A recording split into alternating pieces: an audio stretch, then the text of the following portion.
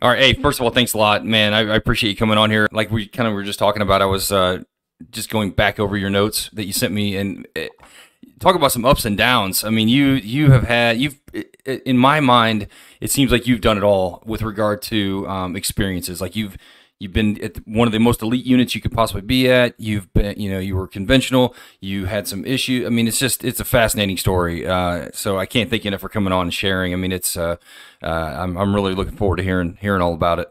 No, uh, thanks, man, and I appreciate it. Uh, one of the things that I don't know if you realize this um, is when you ask guys to write this kind of synopsis. I don't know if it's therapy for dudes or if it's uh, a lot of introspection. I don't know what other guys have said to you, um, but it was it was interesting because I mean I I thought about my career, but I haven't kind of like tied it all together per se. Um, you know, so it was right. It's like, man, like, what did I do? Uh, and uh, right. to your point, yeah, I I do think um, my career was a little interesting.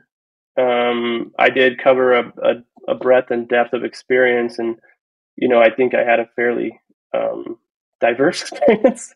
oh, for sure, um, phenomenal and, one. I think. I mean, yeah, there's a couple of we call them low points, whatever you want to call them. But uh, yeah. the, the, the thing I like the most about the whole thing, and, and we'll get into it, is that look where you you came out the other side. Like a lot of guys feel like, and I've had dudes on here that have had run into some snags and had some hiccups, and they've overcome just like you did. And it's I think it's a testament to these guys who maybe these young guys have an early on, um, you know, like a roadblock.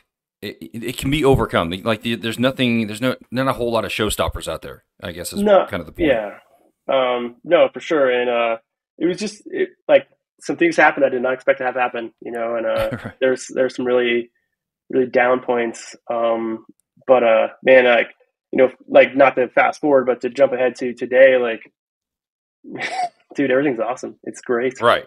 Uh, exactly. You know, but it didn't feel like that sometimes.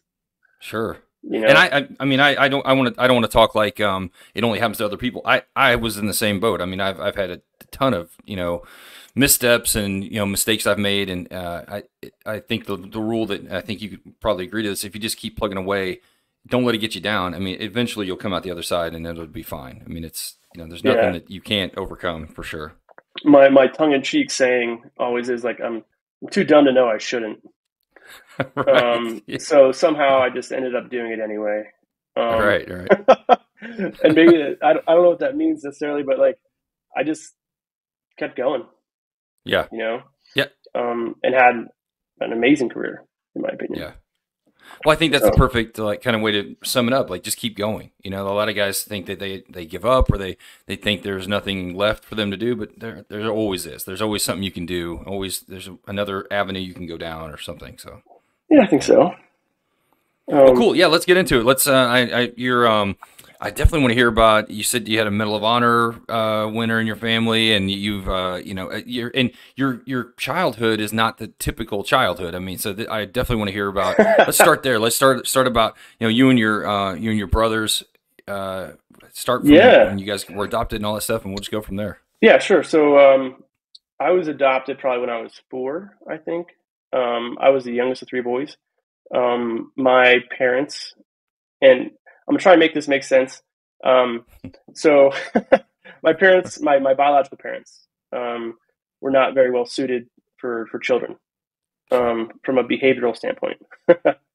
um, so we actually, my brothers and I spent a lot of time in foster homes, um, for, for most of my really early childhood.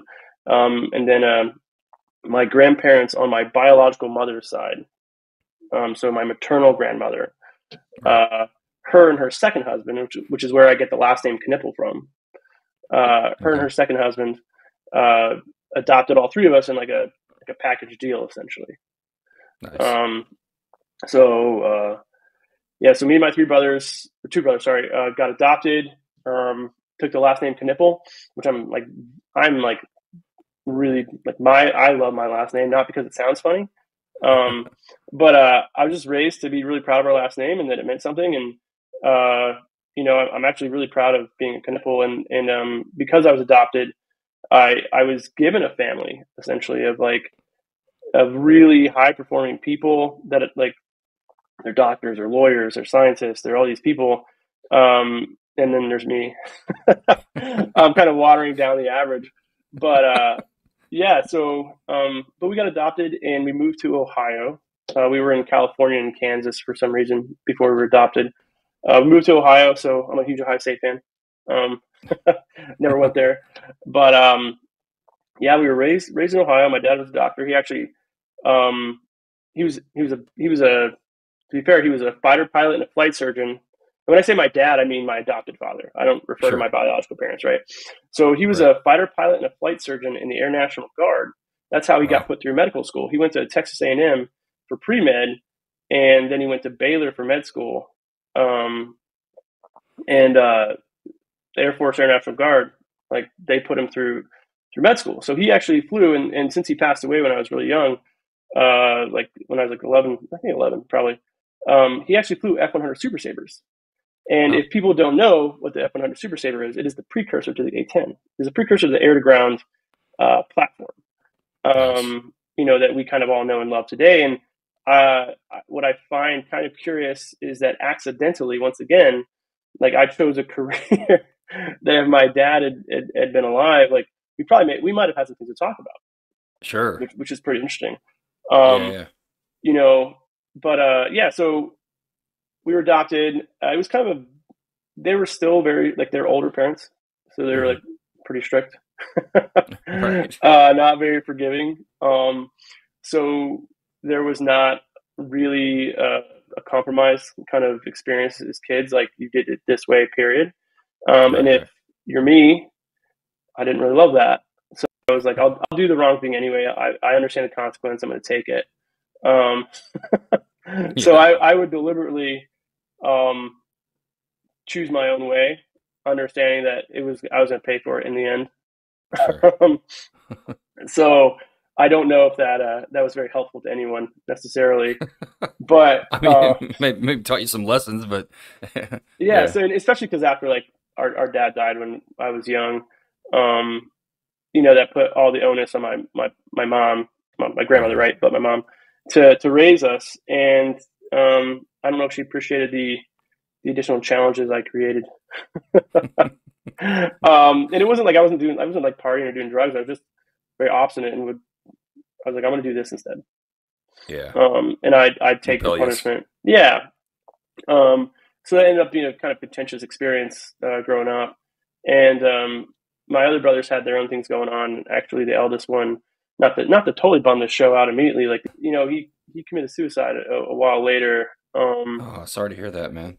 I appreciate that. It's uh, but it, it ties. It'll actually weirdly tie into all this other crap that we talked about too, right? Um, uh-huh. but uh, you know, so that actually, so yeah. Anyway, um, so that happened, and my other, my middle brother and I, we don't really communicate too much. Um, so it's kind of just me now, right? My mother, uh, she passed away in January uh, from Lewy body's dementia, and that will make way more sense when we get to the 17th and me going to the 174th. Um, so yeah, so that was um, that was my childhood in a nutshell. Not a not a great student. I was good at soccer and I could swim, um, and I made sure I passed by just enough to play sports. uh, that's I. That's about all I cared about was having grades good enough to to not be disqualified from playing sports in high school. And right, right. you know, and, and uh, I, I was convinced I wasn't a super smart dude, not made, not cut out for academics, um, and uh, it made the decision to join the military, um, which is something I'd always wanted to do in the first place. But I actually went to the delayed enlistment program to DEP like the summer before my senior year started. I was I was in the DEP program for almost ten months before I actually went to basic training. So like I actually take like two or three days off of uh, varsity soccer practice. I think my coach was like a badass patriot. And he's like, "Yeah, dude, go for it." Um, you know, just like, all the reasons to get out of practice. That's a good yeah, one. Yeah, like he was he was awesome, Coach Volnick. Um, and uh, so my senior year was actually pretty chill because all my friends were freaking out about SAT scores and college exams, and I'm like, I don't do anything, man. It was great. Right. It was phenomenal. Uh, so my senior year was actually not bad. Um, you know, from an experience standpoint, academics, I was still a turd. Um, but uh, yeah, so I, I mean, that's the academics are one of the big big reasons I joined the military because I thought I wouldn't have to go to school anymore. so yeah, that's my that's my that's my childhood really. You know, um, nice. like what prompted me to join the military besides besides like being a little dummy in high school. Um, my family was extremely patriotic. Um, you know, uh, I can't remember. Like I remember the first little piece of artwork I drew for like Sunday school. like, what's your favorite holiday? And I'm sure they wanted to say Christmas or Easter, and I was like, Fourth of July, fireworks, you know. Um, but uh, yeah, so and then as kids, um, because my parents were a little bit unique, we were homeschooled for about four or five years, and that that homeschool period fell inside the Gulf War as well. Um, and my dad being a fighter pilot, and I have family going back to the Revolutionary War. Um, uh, I actually have a, a great, a many greats grandfather, General Mahone, who was a general for the Confederate Army. Um, and uh, his famous battle was the Battle of the Crater, uh, which is actually a pretty wild story about Confederate soldiers like mining underneath Union soldier lines and just blowing the crap out of it. Um, yeah, super wild. Um, so it's called the Battle of the Crater, and he actually has a we have I still have his gold pocket watch because after the war he became like a senator and uh, a railroad guy. And there, if you go on Wikipedia and you look up General Mahone, um, he has a, a watch band in this photo, and at the end of that watch band, it's tucked in his pocket, is the watch that I have. It's a gold, no uh, it's a gold pocket watch from Paris, and it's still like you can still open it and see all the all the mechanisms. Everything's really it's like really really nice. oh, that's cool. It's super wild. Um, yeah. And my, my actual my, my first name Peyton um, is on my namesake is Sir Peyton Randolph because my mom is a Virginian, like she's a Virginian, like full on, like. and uh, I was I was named after uh, this dude I'm related to, which is Sir Peyton Randolph, who was the president of the First Continental Congress. Wow. And so Peyton is my name. My eldest brother's name is Randolph.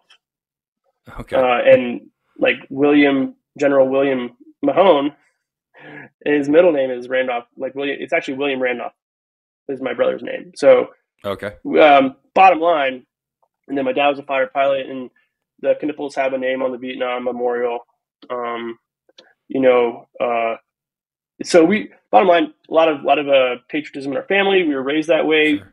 During the after the Gulf War, during the Schwarzkopf, he wrote a book called "It Doesn't Take a Hero," and um, my mom was I was still homeschooled at the time. My mom was getting her hair done, and she's like, "Dude, you need to like not be a, a, a turd in this hair salon.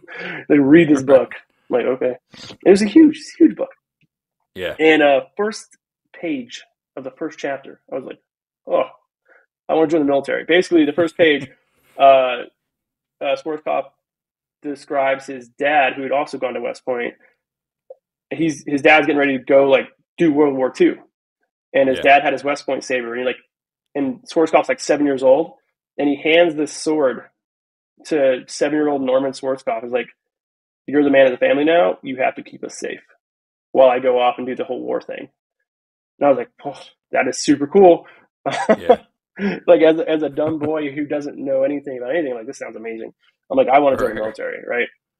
You know, and uh, and and that's kind of how it it spiraled from there, and I, I, thought I wanted to go to West Point. Um, realized that that requires like being good at school and math, things I'm not good at.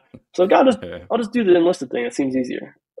yeah. And then um, speaking of the Medal of Honor thing, uh, my wife, her her maiden name is Wahlen, W A H L E N. So that's her her dad's name and everything like that. Um, and there's a dude named George Wahlen, her dad's uncle, my wife's uncle, my wife's great uncle, I guess. Um, and he was a Navy corpsman during the Battle of Iwo Jima, uh, and ended up like over the period of three days and saving a bunch of lives, like crawling 600 meters over open ground with his butt shot off, and like saving another platoon's lives and all these other things. Uh, so, of course, of like these three days, he was he, he was eventually awarded the, the Medal of Honor. Uh, he, he, lived for it, right? and so he it wasn't posthumous; it was a living award. Um, and then he came back to Utah, which is where I live, where I retired to, and um, decided he wasn't done yet. Got a commission in the Army Reserves, and then he went to Korea and Vietnam. Jeez. Um, I think you got. I, I, think he has the Distinguished Service Cross. He got a couple more Purple Hearts. Um, but the family didn't really know about it too much. Uh, my wife's family didn't know about it too much until Clint Eastwood did the whole like two sided uh, series, Flags of Our Fathers and, and Samuels of Iwo Jima. So as Clint Eastwood was kind of researching the roles and researching the story for those movies, that's when he came across George Wahlen. Um, and uh, he has a book. George Wahlen has a book called The, the Quiet Hero. Really amazing story. And almost yeah. the entire Utah VA system is named after him. Oh, really? Yeah. Uh, that's so crazy. It's that's so awesome. cool, right? like, yeah. Holy cow! Um, so that's so that's like uh, that's why I joined the military, right? Yeah. Um, and then I went to basic training, and like every every kid, so I went into the recruiter's office, and this is how I joined the Air Force, by the way. I, I like golf, and my recruiter was like, "Oh, you like golf?" I'm like, "Yeah, totally." And uh, he's like, "Let's go to Wright Patterson Air Force Base. You can play some free golf." I'm like, "Deal. I'm in Ohio. That's that's cool. Let's go. Let's go play some free golf, man." Um, and he's like, "Yeah." I'm like, "So every Air Force base has a golf course?" He's like, "Yeah." I'm like, "Okay, cool." let's do let's join the Air Force. And that's how I made yeah. my decision. He's like, so what do you want to do? I'm nice. like, something something cool. Um, so I, I, he told me about PJs. He didn't know about TACPs at all. Mm-hmm. Um, right. He said PJs and combat controllers, and he said air traffic control. I'm like, oh, that sounds hard. So I'll do I'll do PJs. I'm great in the water. Like honestly, like I, you said ATC sounded hard, so you're like, I'll be a PJ. like, yeah, of course. yeah. Um, and uh, so I go to basic training like everyone back in the 2000s, open general, because that's how you, that's yeah. the only way you could go to those career fields. And I took the PAST. I had a, I had class date for for INDOC. I was going to go do INDOC, and um, but I also was aware that the attrition rate was ten percent, like ninety percent. Right. Um, I'm not good at math, but I can I can do at least one to ten, right? right. Um, and I had some trepidations about that. I was like, I've not been very successful in the first 18 years of my life um, I'm concerned. yeah. and then I don't know if you've talked to Mike Huffman yet. Um, no, not yet. So he and I were in basic training together, and we are in the same flight. And it was like one of these like late night. You should be in bed, but you're you're you're not in bed, and you're talking, right? Um, and they start talking about TACP. I'm like, what is this TACP thing? They're like, oh, it's this calling airstrike for special forces. All I'm like, really? this sounds way cooler than being a PJ. So I walked yeah. over to the to this this Starlight pool, or I forget what it's called now. I was like, I don't want to do this. They're like, are you quitting already? I'm like, I guess. They're like, all right. And they were like, dude, they were mean. They were like, all right, leave, quitter. I'm like, yeah. Oh gosh, that's brutal. um, I hadn't even done anything yet, and uh, they're already calling me a quitter. Wait, so, so you were in? You had finished basic, and you were in uh, like an, an OLH kind of a thing, or no, you were still no. in basic? Or? No, I was still in basic, and I'd taken the PAST. Okay and I still had like a, like two weeks to finish basic training.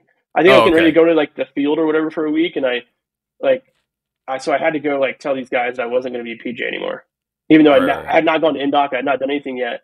And I went there and I was like, "Hey guys, I'm going to be a TACP, Like that's dumb. Like I'm like, so they they they call me a quitter. Like all around, I'm like, oh gosh, like. And then I thought about like, man, like my, my military career is not starting off well. I'm already quitting things, you know. And then I went to um, then so I, you know, graduated basic training, went to went to TACP school. Uh, I was a very underwhelming TACP student. Ask Ivan Rankin, ask ask Lee Blackwell, um, ask all those guys. I was not like a standout by any means. I'm confident that I was actually they were t- probably taking bets on me in the field if I was going to fail vehicle nav or not. Confident. Ranger Knipe is the one. Uh, no, not Ranger Knipe. Uh, Ranger Kibbe. Yeah. Ranger Kibbe is the one who gave me my my land nav reeval and I was terrified when he showed up to like the student holding area. I was like, I am so screwed. They sent this dude to murder my soul. I'm I'm washing out. right. right? Uh dude, he couldn't have been nicer. I don't know if he wants me to say that or not. Um, oh, no, it's okay. Yeah. I mean, yeah, he's, he was like, "Hey, man, like you can do this." I'm like, "Okay." He's like, "You've got two and a half hours. Like you can do this. Take the time you need don't rush, do this. I was like, yeah. I remember sitting in an intersection one time, like just like like during the, I'm like, oh, I was the worst vehicle navigator ever. Um, terrible at it. I got my license like three months before I went to went to basic training. I didn't know yeah. Didn't know how to drive or anything. I was, uh, especially dirt roads. I'm like, oh god, and they, right, put like yeah. putting like minefields um, all over the place. Like uh, Sergeant Swales was his name. He's yeah. like, dude, you just blew up you just murdered everyone in the convoy. I'm like, oh god, like I'm the worst at this. Um, you know, it was I was so I was a really other than PT where I could I was I went to basic training weighing 130 pounds. Um, I, I left basic training weighing 139 pounds because I'd eaten so much food and it was all bad food. Yeah. So I was like, oh god. But uh, I could PT at TACP school. That was about it, man. And I was right. I could like study for a test, right? Uh, but I was I think what's kind of more interesting is like guys like James Spreeder were in my father flight, who I don't know if you know now, but like he's the yep. he's the career field manager for the TACP career field. Yeah, um, and he was he was at my first duty station at Fort Drum. Guys like uh, Jeff Mack, fourth ASOG commander now for TACPs. Um, Brandon Temple, PhD, legislative liaison, freaking right. officer Brandon Temple, former former conventional and 17th guy. Like like those guys were in in my TACP flights, right? Like yeah, yeah. these really high performing, you know, ended up being these really like wild, high performing dudes. Um, and I was just a really young kid, and that's that kind of what brings us to Fort Drum. You know, like I got I got Fort Drum, and Spreeder was there, Jeff Mack was there. Um, my first commander of note was Colonel Shane. Mm-hmm. Um, you know, and, and Pete Donnelly, I think, was the DO. I forget. I mean, I know he was the DO. I don't know if he ever took command of the of the twentieth. Um, I know he went on to take command of other things, but uh, he was the DO. While I was there.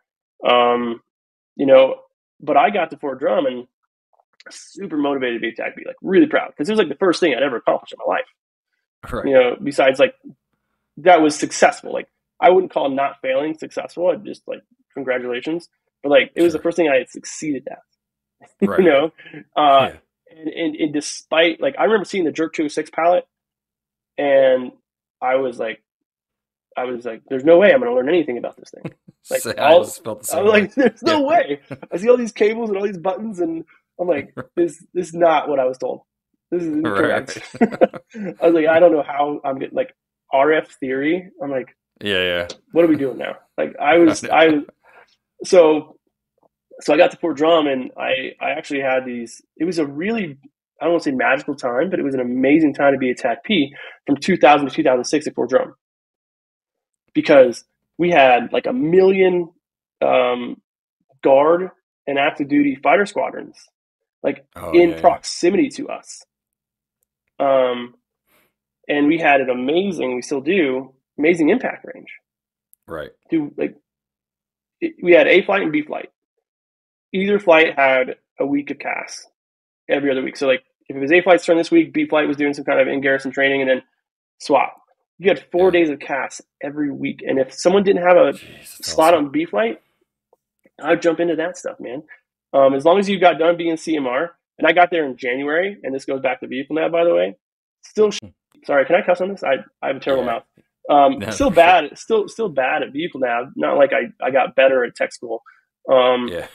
and uh, you know, I do like Sean Lloyd and uh, Lewis Jernigan, which like some most guys probably don't recognize those names. Sean Farrington, um, Roman Lopez, Trevor Bradford, who just retired as the, the chief master sergeant of the PA Air National Guard. Um, I, uh, Had these really amazing dudes. Um, Billy Otter. Oh yeah, yeah, Ranger Otter was there, man. I was, I was, like, oh my gosh, this guy has a tab. Like Jason Hoover, like uh, old Steve Tadich. I don't know if you remember Steve Tadich at all. Oh yeah, dude. Yeah, I was in Korea with Tad. Yeah, man, uh, it's it's crazy. Uh, he's dead, by the way. I don't know if you know that or yeah. not. Like he passed away. It's yeah, so wild. Yeah. Joe Wren, Andre Bansley, like I had all these amazing dudes um, that I was learning from, and uh, but I was just a really young TACP. I was really immature. Um, I did not have a thick skin at all. Like I could, like Spreeder and those dudes made fun of me because they smelled blood in the water. And like, we're just gonna sure. pick on this dude. I was like and I, am sure I was I was hard to like sometimes. Um, I'm, I'm, confident they'll all agree with that. I'm, we're all great friends now, um, but I'm sure I was I was hard to tolerate sometimes because I just all I wanted to do was be a good TACP, and if I saw people screwing around, I was like being serious enough, and like I was not probably a lot of fun sometimes, you know. Yeah. But I was shown a lot of grace too. Like these guys, you know, despite me, still like I was like, hey man, like let's make Peyton a good TACP anyway. But like, so I got there in January of 2001. Um, and I remember a night uh, where Steve Aki um, was like land naving me. I was for my CMR stuff, and I was he was like, "You got a land nav, and you got to change the fills on the radio and set up the new net number and do all these things." I'm like, "Dude, how can I possibly vehicle nav and do all these things?" He's like, "Figure it out, man." and then I got mad. I was like, super outburst. He's like, "All right, stop, stop the Humvee." I'm like, "All right, cool." Um, and it's snowy. It's Fort Drum. It's been snowy in January. Yeah, yeah. Um, and it was probably like February or something. I don't know. It was it was not warm for sure. Right, right. Um, he's like jack your feet up. So like I got my feet jacked up on the front of the Humvee with a map in front of my face with a red lens and the the the crazy ten, and he's like, "Don't ever tell me you can't do something again like that. Like if I tell you to do it, you gotta do. It. I'm just like, oh god, like, and I'm terrible at like handstand push-ups or like like that. Yeah. I was like, oh, my hands are freezing cold. He's like, get back in the truck and figure it out. nice. Um, and uh, you know, and and and then when I became a TACP instructor, like I was like, why was this so hard for me? Like it's so simple. It's it's it's yeah. really uncomplicated. But I was so just nervous um, and scared, and um, I just want to be a good TACP, so I didn't want to make any mistakes. Sure. Um, so of course I made mistakes. You know. Yeah, yeah. But, yeah, when you're trying so hard to not screw up, that's when you screw up the most. It seems yeah, like, yeah. Because I, I, wanted these guys, I wanted these guys to see me as a good TACP because I wanted to be like, because every unit's this way. Like, it's not unique to Fort Drum or unique to TACPs. Like, clearly have your high performers and you have your dirtbags, and there's something in the middle, right? I wanted to be over here with the high performers. I didn't want to be seen in the middle. I definitely didn't want to be seen over here. So I was like very sure. desperate to go that way. And um, you know, uh, maybe worked out sometimes, maybe didn't.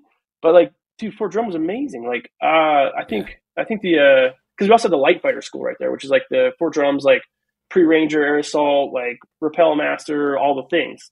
We had all right, we had right. everything there, and we were literally like a block down the street from light fighter school. So we would just like walk up light fighter school, like, hey, you got any free slots? Um, so I think within like the like my first summer after getting CMR, like going to air assault. So me and Jeff Mack went to air assault together. um, nice. And Jeff Mack uh, won the 12 miler. It was amazing. He was a stud uh, it was it's phenomenal because we're a light fighter infantry unit. Um, and at the graduation, they call up the award winners for like the best student and then whatever, and then they call up the winner of the 12 mile rep march, and it's this Air Force dude. uh, and the entire, how'd that go over? uh, the entire Army formation got dropped for letting an Air Force guy beat him like at, at the graduation. That's awesome. uh, the whoever was overseeing the graduation like dropped the entire army graduating class for letting an an Air Force person beat a light infantry unit at the thing they make their money at. it was right. awesome. It was uh, and, and Jeff great. like the thing was like so I'm I'm short. I'm like five nine. I got short little legs, and uh, Jeff hung with me for like the first six or seven miles, um, and we had a pretty good pace, right? Yeah. um, on that 12 miler. And then like Jeff is like nine feet tall in most of its legs. He's like, right. and he also played like college soccer and coach college soccer. He's like, hey man, you gonna make it? I'm like, yeah, dude. He's like, I'm gonna go. and like he was gone. Um, it was amazing. yeah. um, but it, I, so I went to air assault, uh, and then dude, 9/11 kicked off. Like, uh, like I remember thinking before because uh, our NCOIC Bill Staub, um, you know, had been to Mogadishu as part of like the 10th Mountain, the element that helped recover and, and do all things. Oh, for, right, right, yeah. You know, so he was part of that. So he had a combat patch. Um, when like when combat patches meant something, in my opinion, right? Like you know, sure, like nobody were, had one. Yeah. They were rare. They were significant. Yeah. I like, and I, I was like, oh my gosh. I was like, I'm, and I thought, I remember thinking to myself, like, I'm probably gonna, I probably won't see war in my entire career. You know, I, I, I, I was like, yeah. I was like, it'll, it'll, probably take me forever. And you thought the same thing. We spent most of your career at 17 yeah. in the war. Man. Well, like when I was younger, you know, I I did uh, we did four I did like three or four years down to DM, and we did went down to Panama. Eric yeah. Harris and Keith Ingram were my mentors there, and uh, and then I went to Korea, and then I went to Germany. So I'm like, man, when's this ever going to happen? You know, and then it. One thing Eric Harris told me one time because he had they, they, were fresh out of Panama. They they were the five, the the 5087th and 508th down there, and he said he's I was like, man, you know, you guys just got out of combat. Um, when's there, you know, it's never gonna happen for me. He's like, look, you stay in long enough, something's gonna happen. And sure enough, man, 9/11 kicked off, and we were busy uh, ever since. So yeah, you know, uh, but uh, yeah. So I remember thinking, I'm never gonna go to war. I'm just gonna train for right. challenge forever. Um, yeah, exactly you know, right. Like like uh, like Brian Wilczynski, like you know, just lightning challenge ninjas. Um, right. You know, it was fun. I mean, that part that part was pretty fun. I mean, but it wasn't like it felt like you were just kind of spinning your wheels. Like you just kept training and training and training for. It almost seemed like you're training for nothing. Yeah, and it, uh, you know, the whole yeah. like back in the day, like stump the dummy, like you know, Vizrecki yeah, thing, yeah. which is still important. Like and Steve Aki, I think, could probably still Vizrecki anyone into the freaking ground. Um, that dude was a, a, monster at it, but uh, also an amazing JTAC. But still, um, sure, sure. so then uh, obviously 9/11 kicked off, and uh, I don't know why, but it was like everyone who's soft go to Afghanistan and the 10th Mountain Division. you know, like it was such a, and I, I know right. like Hunter First went too. Um, and, but if you've been in 10th Mountain Division, everyone knows that like there are no mountains at Fort right. There are zero mountains. Right. You have to drive like an hour, best case scenario, in any direction to see a peak of anything. right, right. You know, like, uh, but but that also goes back to the 10 mountains, like awesome legacy being formed by like professional skiers and and alpinists uh, in World War II to go wage the the Northern Italy campaign, which is a really cool story by itself. Um, actually, here yeah. in Utah, um, if you drive into Park City, there's actually 10th Mountain Highway, which is really cool oh, because they did they did a lot of their training between like here and Colorado. Um, huh. So 10th Mountain like actually got a lot of its inception in the in this area because of the terrain. Um, so hence 10th Mountain, obviously, but I didn't know why, but uh, 10th Mountain got picked to go. Um, yeah. And I was, I was not init- I was not picked initially. Um, when they like, oh, I'm like these guys are going. I thought I had been though. I remember showing up to the shop on a Saturday, thinking I was helping get the vehicles ready. And they're like, "What are you doing here, man?" I'm like, I'm here, here to go war, guys. Like, we're, we're going to war. Yeah. they're like, "No, you're not on this lift, dude." I'm like, "What are you, what are you talking about?" That's how also arrogant I was. I was yeah. like, I was like, oh, of course I'm the one going. It's A flight, and I'm the best one in A flight. Why wouldn't I be picked? Um, yeah. Such an idiot. Um, I don't know how it happened, but I did end up actually getting picked to go because oh, really? I made a made a big enough pain in my ass to everyone. Like they're like, ah, oh, just bring him. Um, yeah, you showed so, up. You're motivated. And they're like, hey, maybe you know.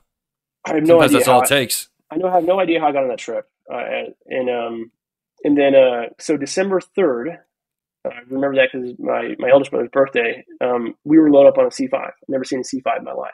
Um, but Fort Drum has an airfield that I think is qualified to land the space shuttle. It's like one of those airfields that's around the, the country that can like take a space shuttle. I think something. It's huge. Um, yeah. So you know we're over at uh, I think it's Wheeler Sack, and we're just in the in the December third. It's snowing. We're loading up our our Humvees. Um, I'm like, cool, man, let's do this. I was pretty excited. You know, uh, when we get, we fly into K2, Karchi Kanabad, K2, Uzbekistan. Yeah. Um, and C5 is doing a combat descent into a completely blacked out airfield. Um, and it's actually really cool that you had Stinky on last episode. Yeah. Because that's where I met him and Larry Parton was in K2. They just, they just gotten back and getting after it. Oh, cool so wild, right? Like because they were still yeah. like coming in and out of K two as a staging base, right? And right. Um, you had your like little Camp Alpha soft camp compound, which is like barbed wire and like don't come in here, like versus what yeah. it like ended up being was like super, and it was like it was winter obviously, and it was uh it was just muddy and sloppy. Um, it was just a weird place, man. Um, yeah. It's when Red, I weirdly I remember that's when Red Bull started coming out because like the weird little like shoe box of a, a shopette had flats of Red Bull. I didn't know what they were. I'm like, those look cool. I just bought some flats of Red Bull, man. Uh, and brought them back to the the tent, and uh, you know, we still didn't have fuel. Um, so like we had to get the vehicles ready to go, and we actually ran out of gas. Oh no! Um, on the on K two, and so we were just like following this fuel truck around, trying to get gas from this like this this POL truck and that's when I learned how to like you had to bleed fuel. I never had to bleed a fuel line in a Humvee before, right? Because oh, yeah, I've never done got, that. Yeah. yeah, there's this weird little like flip that like opens up like the tube to let the air out. Oh, okay. Otherwise, it like gets bubbles in it and it doesn't work. And all of a sudden, like uh, Steve Aki and Joe Runner, like, what you guys never blood a fuel line? We're like, no, dude. Me and this guy named Ron Evia. Me and this guy named Ron, this, this big Filipino dude named Ron Evia. Um, like, no, man. so we learned how to like bleed fuel lines.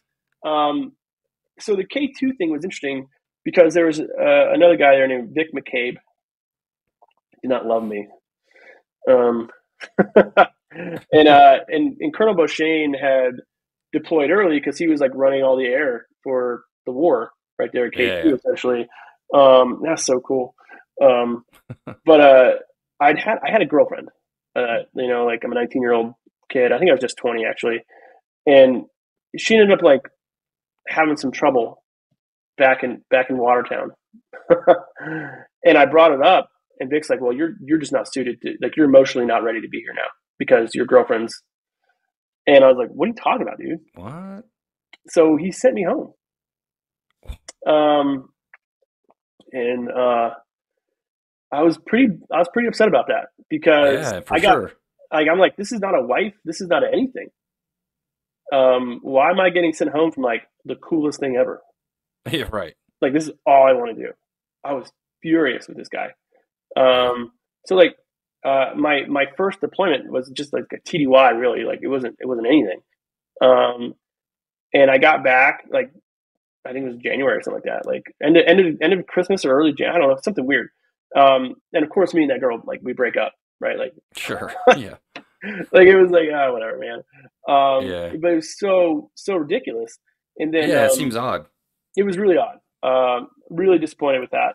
Um, because what ended up happening was I missed almost all of. Op- I ended up redeploying in like February March of 2002 when I'd already been over there. Yeah. Um, and I, we, me and Trevor Bradford and a few guys like roll into country and like we ended up our our first mission ends up being like the tail end of Operation Anaconda after Aki and Ren and Lloyd and Farrington and all those guys had pulled out. Uh, we went and like did like the cleanup of end, end, end of Operation Anaconda and rolled into this thing called Polar Harpoon. Okay. Um, and uh, it like one of the there were some low performers on the team that I had left, and if I'd been there, I think I would have been just fine. But because yeah. I got sent home, there was just some weirdness uh, from some of the, some of the young TACPs. They didn't they didn't stay in very long after that. Um, you know, uh, and I'm just I'm still to this day I'm like it's such a weird thing. But so we yeah. we roll into um, this kind of cleanup of Operation Anaconda into, into Polar Harpoon. Uh, my first mission my my entire life. I've got a Blackhawk Raptor pack because also there's this really this big sign of immaturity on my part where like I wanted to stand out. I was like I'm a TACP. I'm better than you. Yeah. And like, and if you go to the 17th now, like if you go way not, and when you go back to get into my 17th career, like I didn't want to stand out at all. I just wanted to be part of the team. Sure. So there's this really different um, kind of set of behaviors. So I was like, I had my Raptor pack, and I didn't have a rucksack, and I thought it was too cool. I had, like, I had 110 pounds in a Blackhawk book bag, essentially. Jeez. Idiots, idiots. And I weighed 130 pounds. I was a yeah. little dummy, right? so we go, and I, and like, uh, maybe I knew that we were going to Roberts Ridge, but maybe I don't know if I if I knew for sure.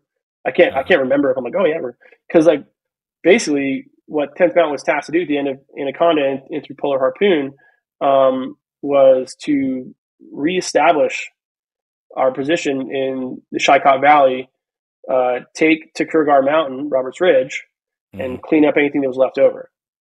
Okay. So my element uh, was tasked to take Roberts Ridge again.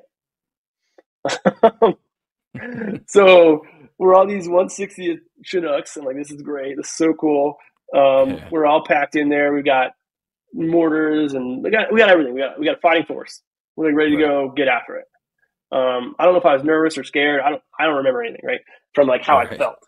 Um, but uh, we did a lip landing, so like the back wheels because we're so high up in elevation. We had so many people in the aircraft. Like the back wheels are like on the mountain, and the front is hanging off.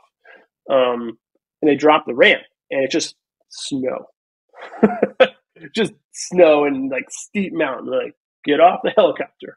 like, got it. so I slide my butt off the helicopter. You still have to like jump. I land in like knee deep snow. Um, I get like I get snow in my my muzzle, my my weapon. I'm like, oh god, now I'm gonna blow my my barrel off. right, like that's how dumb I am. And then uh, so they had Skedcos and mortars. so everyone knows Skedco is basically like a, a, a plastic toboggan. Right. They slip that thing off the ramp. It hits the snow. It is gone. Oh like, no! mortar rounds are like just like gray. They're still in like the the mortar round casing, right? Um, yeah. the, the the carrying the tube or whatever it is. They're just like flipping down the mountain. Oh um, but because those are our only, you know, organic fire support, uh, you know, outside of a weapon system, yeah. you had Joe was just humping like Army ten mountain guys, just collecting eighty-one millimeter mortar rounds that had cartwheeled down the freaking mountain. And we're already like eleven thousand feet. No one had been in altitude. Um, dudes are sucking. Um, yeah. Like it was terrible. And like we get off and like we took like some. There was like this weird little black tent over there. Um, we took some in my my JTAC because I was still or my ETAC. I was still ROMAD, right? Um, mm-hmm. My my my ETAC was on another flight. He was on another aircraft. So that like one of us like the whole like cross load so you don't lose all your assets sure, sure. Like right? He hadn't landed yeah. yet. Um, and so little some pop shots or whatever, uh, some ineffective stuff, and we tell us from over this place. And we had some AH-1 Super Cobras, um, and the Army was like, the Air Force killed that thing. I'm like, and I was still like, can I do that? Am I allowed to do this? And I'm like, yeah, it's called fire. It's probably cool. Um, but uh, I I want to make sure there are no friendlies around. I, I I did some over. I did a little more due diligence due diligence than I probably needed to. Sure. First round. Yeah, I mean, you want to make sure you're like doing it right. Super nervous because we also had dudes down in the valley because like we were up on the mountain, they were down this kind of like this this valley here um, on the backside of the Roberts Ridge. I was like, oh man, I don't, I, I got to be really careful about this. um, but I remember just laying on my back and these cobras coming in and just smoking the crap out of this thing, and I was like, oh, this is combat, hooray! You know, that's was, awesome. I, yeah. I was doing it, you know, and I, I did it okay. It was cool. Um, and I and I remember too, man, because I had like the the 117, uh, the 117 Fox, like the, the original one, right? Right. Um, like pulling out the SATCOM antenna and like just going through my steps in my head, like this checklist of things I have to do, mm-hmm. right? Um, and I think because I was so caught up in my checklist, I didn't really think about what, what was happening around me, so I didn't really wasn't really bothered by it initially. Um, sure. And uh, the army had never seen a 117 before, so I had just like the little KDU, right, the faceplate, right. and it was right, right. you know, and they're like, "Is that your radio?" They thought the faceplate was the radio. I was like, I'm like, no, man, it's, it's awesome. my it's my it's my remote KDU. And they're like, what, what is this? Because they saw Spitfires. They had like ASIPs. They were trying to set up an OE two five four like this, like on the mountain. It was ridiculous. Yeah. Um, it was crazy. Uh, yeah. but it was it was a really. um, and then we had like, okay, cool, that thing's done. Uh, dude, and I didn't I didn't do a end fire mission, so the Cobras just kept on getting after it. They just started lighting things up. They thought were they're like, ah, this is cool. We're gonna shoot this too. I'm like, yeah, you know, like uh, it was it was awful. um, so, but I, I was on my back, and the the the brass and the casings were like just falling out of the cobra. I was like, this is awesome, right? Yeah. And then we start walking up. We are about a thousand feet below the ridge, about uh, of the top of of uh, Roberts Ridge. Yeah. And uh, I did not realize what altitude was and I was like, "Oh my goodness, this is terrible." I was this was the worst. I'm like, I like I'm like I'm gonna die on this mountain because I'm so out of shape. um, and then this dude snapped his leg. This army guy snapped his leg. Oh um, it was wild. Uh, so he got dust off out of there, and like in the melee of getting that dude on the helicopter, one of the guys was helping get him on the on the dust off they actually grabbed his rucksack and they left the injured guy's rucksack. So the dude ended up with the injured guy's rucksack had a pillow in it, uh, Vienna sausages, some fruit cups. Like it was ridiculous.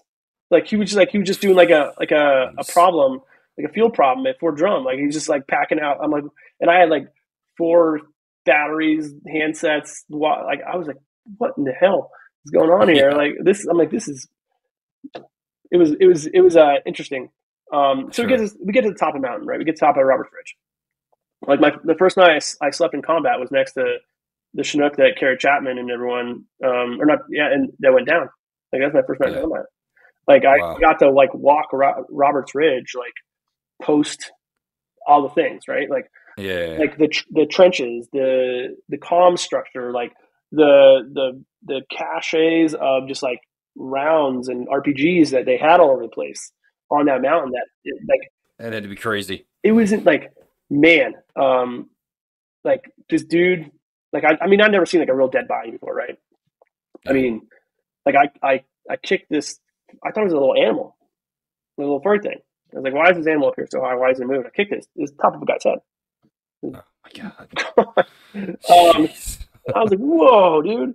Um, and it was, it was, uh, I think it's like you always remember your first, right? Like I remember my sure. first mission. Um, and, and, uh, it was, it was so fascinating to see that place, um, and understand what had happened there. Um, you know, so that was, that was I mean, other guys have had way cooler first missions than mine. Mine is cool because the location. If you'd said like sure. dirt hole somewhere else, like who cares, right? Mine right. mine was cool because of location. To be perfectly honest with you, like it wasn't like super extraordinary. It was just uh for that to be my first mission was really really cool. Yeah. Um, you know, and I and I remember my last mission too. uh, ever attack B. So, um, yeah, so I did uh, that trip. Went back to the states. Um, they everyone started getting spun up for for Iraq, and I was in JTAC upgrade. So uh, that summer, um, I went to airborne school. I went to EMT school. Weirdly enough. Uh, yeah. Oh yeah, I read that. I'm like, uh, uh how long that take? A month. Like you just okay. in class for a month and you study and you, you got your EMTB, which like I didn't do shit with it. Um, right. Like I wasn't like the I wasn't like the 20 ASOS medic at that point. Like it was just like sure, sure. cool man, go to EMT school. Uh, went to this yeah. thing called Mountain Leaders Close Combat Certification course, which is basically just CQB class, uh, okay. and like learn how to do like water impulse, you know, breach charges and and doing some det cord stuff. It was really oh, freaking cool. cool. man. Like sim rounds and all the things. It was awesome. Uh, nice. JTAC QC for six weeks, and in Vegas, the the whole month before my twenty first birthday. so I I I had I had less fun than other guys did. Yeah, um, yeah. uh, some, but some guys had a lot of fun where they like passed out and like flooded their hotel rooms because they like passed out in the tub. so I, I, some guys had a lot of fun, and you know, um, so I went to JTAC QC uh, that summer and uh, got my got my eval. Guys like Roman Lopez. Uh, we had an ALO. Uh, her name is uh, Deanna Violet Pinball. Um, she was amazing. Like yeah. I, I, haven't worked for a lot of a lot of women in my career but as an ALO, as a, as a, as a JTAC, brilliant, right? So it was uh, Jason Hoover, Roman Lopez. Um, Roman Lopez was a TAC P uh, for about six years. Then he stayed in upstate New York because his wife's a therapist. He's like one of my best friends. He ended, ended up going to be the Air National Guard, the 174th, um, and became an Intel uh, commissioned officer in Apache. Um, oh, okay. But like so, Tadich, Hoover, uh, Pinball, uh, Dan, Dana's call sign um, and you know Lopez all trained me up to be a JTAC, and then I deployed back to Afghanistan in 2003. Um, Barakout was a really interesting place. Like so, we, me, and a guy named Brian Schieffer, uh, who a lot of guys probably know, he he got paralyzed um, at NTC uh, back in like 2008, I think. Yeah, yeah, yeah. I met him a couple um, times. Yeah, so he and I are like he's also like one of my best friends. Um, we actually deployed amazing dude, like exceptional dude. Uh, we deployed Advon for 10th Mountain, so we were actually we were actually with the 82nd because that's who 10th Mountain was ripping out um, for about a month, and we got me and Brian got sent to Barakout, okay. which is way up north past Abad. Like we were like like it was our fob, the river, Pakistan. You're right. uh, and about 80 miles north of us was China. Yeah, yeah super weird. Um, yeah. And like, uh, it, and honestly, like I've still got, I can still find it on a map. Uh, it was exactly like Cop Keating and like the whole like Restrepo thing. We were in this mm-hmm. like pocket. It was just peaks, looking down on us all the time. Um, and uh, it was it was the it was a really a really interesting. Like we had a we had a we had an OGA there doing OGA things. Um, it was fascinating, um, and uh, we actually went on a, a mission to find stingers with those guys. They they they needed a, a DoD asset, and like yeah. we were the DoD asset, right? Like they had their own, they had their they had a little partner force, their their Tejas or whatever you want to call them now, um, right? And uh, and uh, we we went way up in the mountains. Like we were pushing our Hiluxes up up these roads at some points. Um, it was ridiculous. And we get to this place. And it's actually one of the the partner for us. It's his family's compounds up in this mountain, um, and it's like built into like the crotch of this this ravine. This thing going up like this this really steep kind of terrain feature. This house was like three stories and it was kind of built back into this thing, and then the village kind of like flattened out behind. Um, But like the main the main floor, the open area, like yeah, like grapevines growing up it. Like you could just like pick grape grapes off the grapevine. Um? Like we walked in like to the top floor, we had a five course meal. Like we ate like on like like while the OGA dudes were like doing their fact find stuff, we had a five course meal and like all of a sudden out of nowhere in this like completely remote village in Afghanistan, north like way north of ice cold two liters of Pepsis. And yeah, we, we've gotten them all over the place in Afghanistan, sure, but like not what I expected to see in this completely rural, like super like austere environment. Yeah. And then, uh, you know, that was just like, uh, and then we did another part of the meeting where like we walked through this, this like this marijuana field into this uh, basically this this outdoor meeting area that was like covered by trees that had like trimmed grass, like slate benches all the way around it. We were at the the origination point of a of a a live spring. So okay. you see the water that's come up out of the ground, and it was like wow, perfect water. Like you just like dip your cup in and drink water out of this thing while they were like, it was like one of the once again like one of the nothing happened. Like there was no combat. There was nothing like like it was just an amazing experience that you did not expect in Afghanistan. Sure, yeah. You know, um, and the funny part was is, that guy. That guy had to be like uh, like some sort of warlord or something in that area. He probably was loaded with money. So, uh, I mean, I can't verify his statement, but like he pointed to this this kind of like burnout spot on this mountain. Um, he's like, yeah, the the Russians were bombing up there back in the day. So this dude had been fighting the Russians, and he's like, he's like, just over there in this little thing where we buried a bunch of dead Russians. I was like, oh, okay, cool. Can we be friends? Like, I was, like, I was gonna oh, say, yeah, is that a threat to us, or is it like, just oh, like just saying, you know, like? No, he was super cool. He's like weirdly my, he was weirdly my bodyguard. He wouldn't wouldn't let me do anything unsafe. Like if I was like sitting nice. on like the edge of the truck, he's like, no, dude, you're sitting over here. I'm like, oh, okay. like he was like, it was for some reason that guy was like my like weird bodyguard person. Yeah. But uh, like, so I can't verify his statement, obviously, but like curious to say the least. And I don't, I don't yeah, say, sure. I don't, I don't have a reason to doubt him, honestly. Sure. Yeah. so, um, you know, we did that. And like, the funny thing is, maybe not funny, not, funny for us, maybe not funny for the guys, but we got ripped out by uh, two other 10th Mountain guys when 10th Mountain actually took over Bear Cow. Mm-hmm. Next night, the night after we left, place got lit up. Really? Yeah. Like we missed it. Like uh, one of the TACPs like completely shredded his, his ACL, like had to get like because they were like rushing up the mountain to like do the thing, and he like completely blew out his knee and all this other stuff. Jeez. And like so, like it was so crazy. Like we get back to to Bagram, and they're like, "Oh yeah, like Bear Cow's under attack right now." like what? Oh my god. Um, it actually makes sense because like if you have a new force ripping in, like it's a pretty vulnerable time, right? Like sure. they didn't so like, but I was like, oh, and I was like, oh, we missed it. We missed the fight. You know, like I just wanted to be a JTAC and, and get after it. Um, but I'm not bummed out, honestly. Yeah. it wasn't a, it wasn't a super ideal environment. Um, and oh no, yeah. I mean, you can't. That's the kind of thing. It's like we talk about that situation all the time, where you know, right place, right time. It's just you never.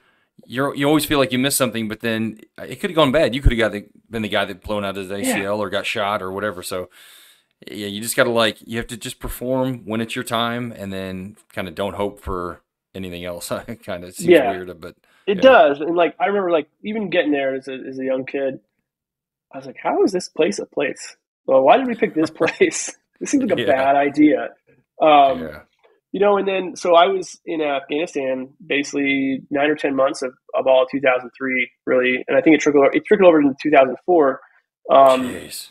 You know, like that's when like Orgun-E and Shkin were like super sexy places to be.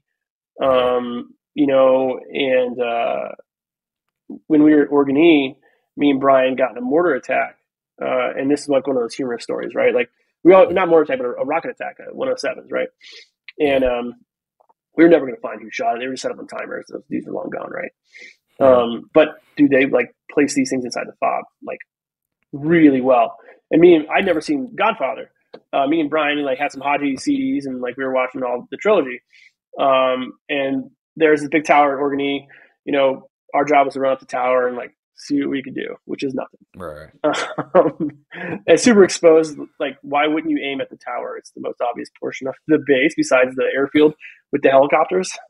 right. um, you know, so like our job is to run up that tower, and um, like while we're running up there, like we're taking like really good, really accurate 107 fire. Like the whole, the whole, obviously the the, the fob was Hesco buried up, and there was this kid who was running because they had like DFPs and, and Hesco barriers too, mm-hmm. and there was a Hilux parked um, outside the, the DFP. So he like he dives in, rocket lands, Hilux gone. Jeez. He's fine.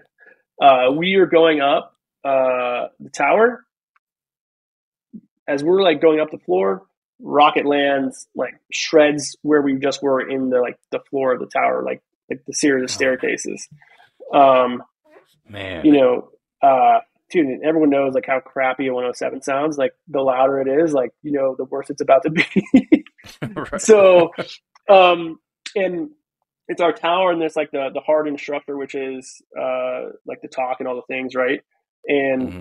but the the chow hall is like the wall closest to us, and a rocket lands and like smacks the chow hall, just like outside, smacks like the wall of chow hall. And I'm, and this is like the part where the Godfather makes sense because like me and you know Brian, like there's some sandbags up there. We wouldn't have done anything, by the way, because like one one 107 took out a whole like a Hesco barrier was there and then it was like not there. Like took out one oh one, one whole 107. So like yeah. those sandbags are, I mean, it's like a wet paper bag. Essentially, right. as far as how effective it was gonna it was gonna be. Though Brian and I get down, and I just look at him like, dude, we forgot to pause the Godfather. He's like, no, man, I got it. Like, it's pause. and like, of all the things I should be thinking about, like, I'm like, oh man, we didn't pause the movie. And then sure enough, like the rock attack's over and like we go back and Godfather paused. You didn't miss a back. beat. Yeah. didn't miss a beat. Um, you know, and then, uh, you know, we did a convoy from Orgun to Shkin, which is a really crappy back then, really crappy, yeah. just like, just we would go through wadis and one lane things, and the whole company was convoying to Shkin. Um, and we were meeting up with uh, the the the company out of Shkin. Like we are gonna meet like kind of in the middle to do like a bigger action. Mm-hmm. Um, and that was like my first like, well, like I did the thing in in, in uh, at Takur Ghar and Roberts Ridge. Like this is like my first like real combat. Like we're like you're like you know like people are shooting at people and it's not great. Um, you know, uh, so that was that was cool. It was exciting. But as we were driving back, um, they uh, we were in this deuce and a half because we didn't have our own Humvee there yet. So we had just a uh, like a, a like a, a, logistics driver, right? Like a yeah. you know, hadn't brought his knots, and it was like nighttime. It was like full on like nighttime, dude. So me and Brian, which is sort of ironic and also not funny, like because of what happened to him later, driving off a cliff at NTC. Um, oh, yeah. Like we're in this deuce and a half, like we have our nods on, drive like doing like a little more left, a little more right for the driver who couldn't see shit. Um, and like he almost drives us off a freaking cliff.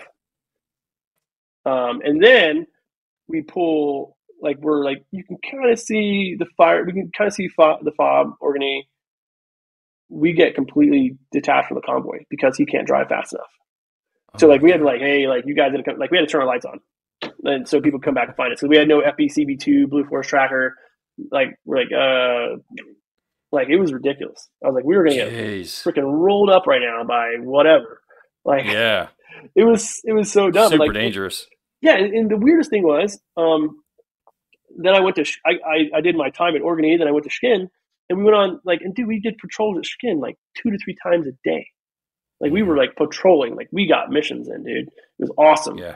Um, we went on a, a foot patrol one time, and the whole freaking platoon didn't bring their bring their nods. Me and Brian once again had our nods, and like we're like we're I don't like even get that. I don't understand it. Like especially now, Yeah, like being that seventeen, especially being seventeen, where like you always like, and I think now everyone does it. Uh, Yeah, yeah. Like you never don't have your nods. Well, that was the lesson from Mogadishu. I mean, we Right. mentioned Mogadishu before. That was the whole lesson that everybody learned from that. You know, that Yeah. was like, So we're we're walking back and like in the dark from this patrol, and like everyone knows that Shkin is like right on the Paki border as well. And you have like this little swath of like Waziristan too, that's like a non-place, but it's a place. Um, yeah. and it took too long. So like everyone's in the dark, just like fumble, screwing around, trying to get back like all this terrain and crap. And uh, me and Brian are like, "What is happening right now?" Yeah, that's crazy. Um, but uh, you know, and then um, it's this is when I got my first. This is when I did my first job as a JTAC. Really, um, Mang- Mangartay Valley, which is because like Shkin is so easy. It's like that way is east, everything's north and south, and like behind me is west. We don't go west, so like it's pretty much super simple, right? Um, From a direction standpoint. Um, and uh, we were like top two coldest nights of my life. Like we did the patrol. It was December, um, and uh, pretty ineffective. Pretty, like nothing exciting the first day. You know, like we and we decided to bivouac in the only place in this wadi where like no sun ever gets, and it's full of snow Jeez. and completely indefensible. Um, so I'm just like, I got my my my foam pad and my sleeping bag, and like we had to like wear all our kit to bed because when the French and Indians attack and all the things, Right, right. um, I had like ice in my sleeping bag. People were like cold weather injury, like puking all night long. You could just hear me yakking. Oh, it's the worst. Absolute Yeah. frozen. Like it was like I I did not love this this Miserable. night. Just miserable, right? Yeah. Uh, and then uh we so daytime comes, sun sun's out.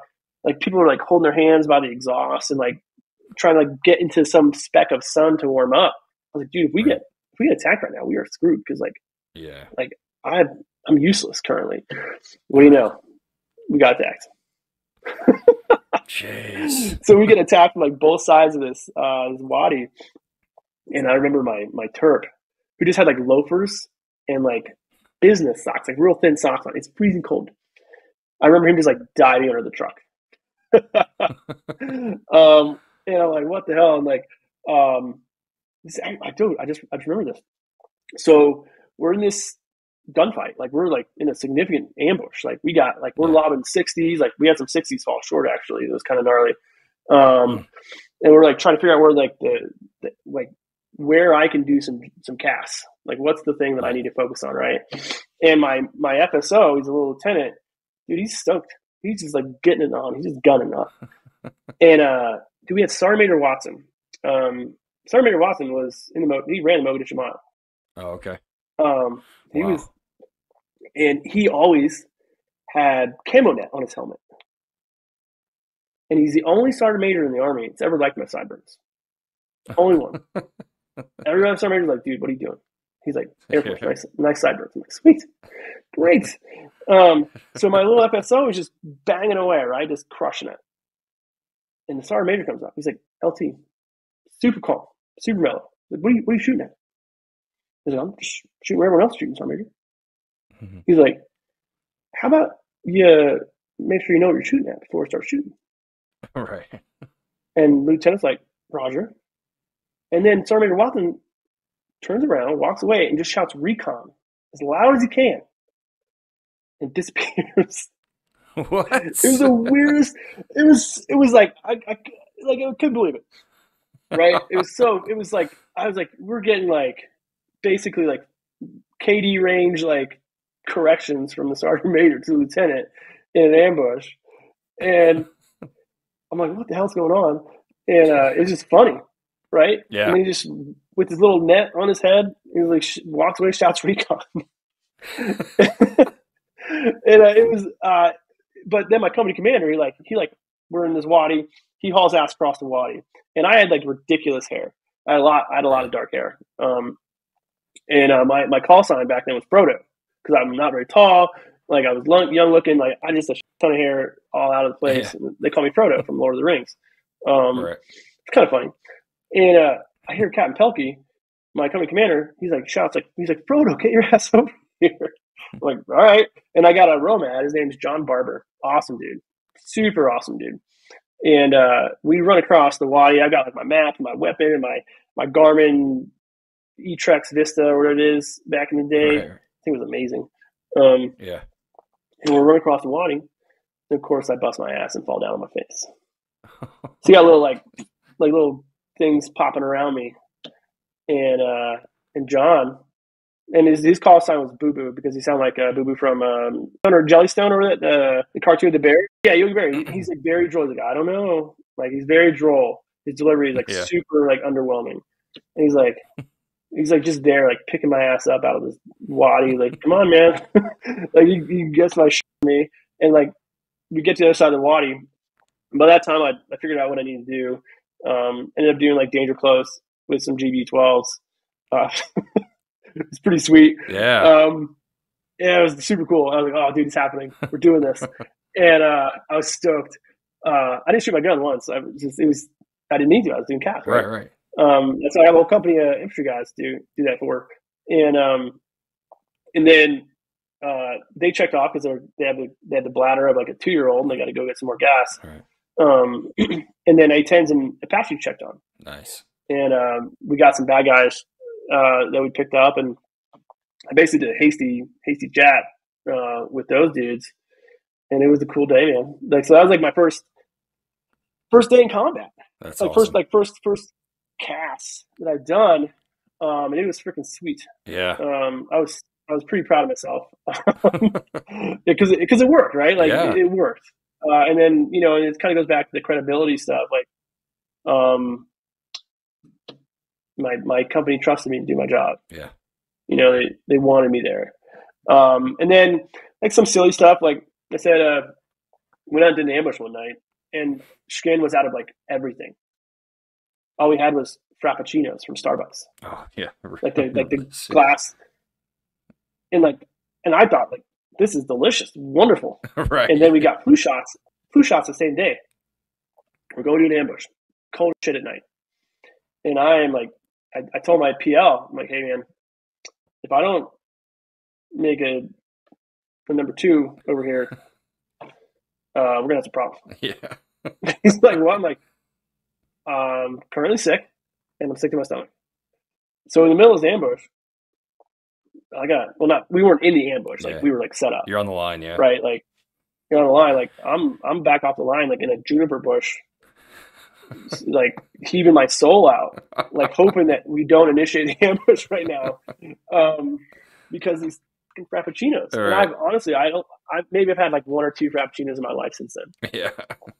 Um, a bad experience. It was so it was so ridiculous. Um, but uh, like what? It was, it was, it was just it was just weird, silly stuff like that. Like, yeah. uh, you know, that was that was the mission. And then, um, you know, came back from that and did some more TACP. Just like you know, I went to Lightning Challenge, um, and then PCS to Alaska.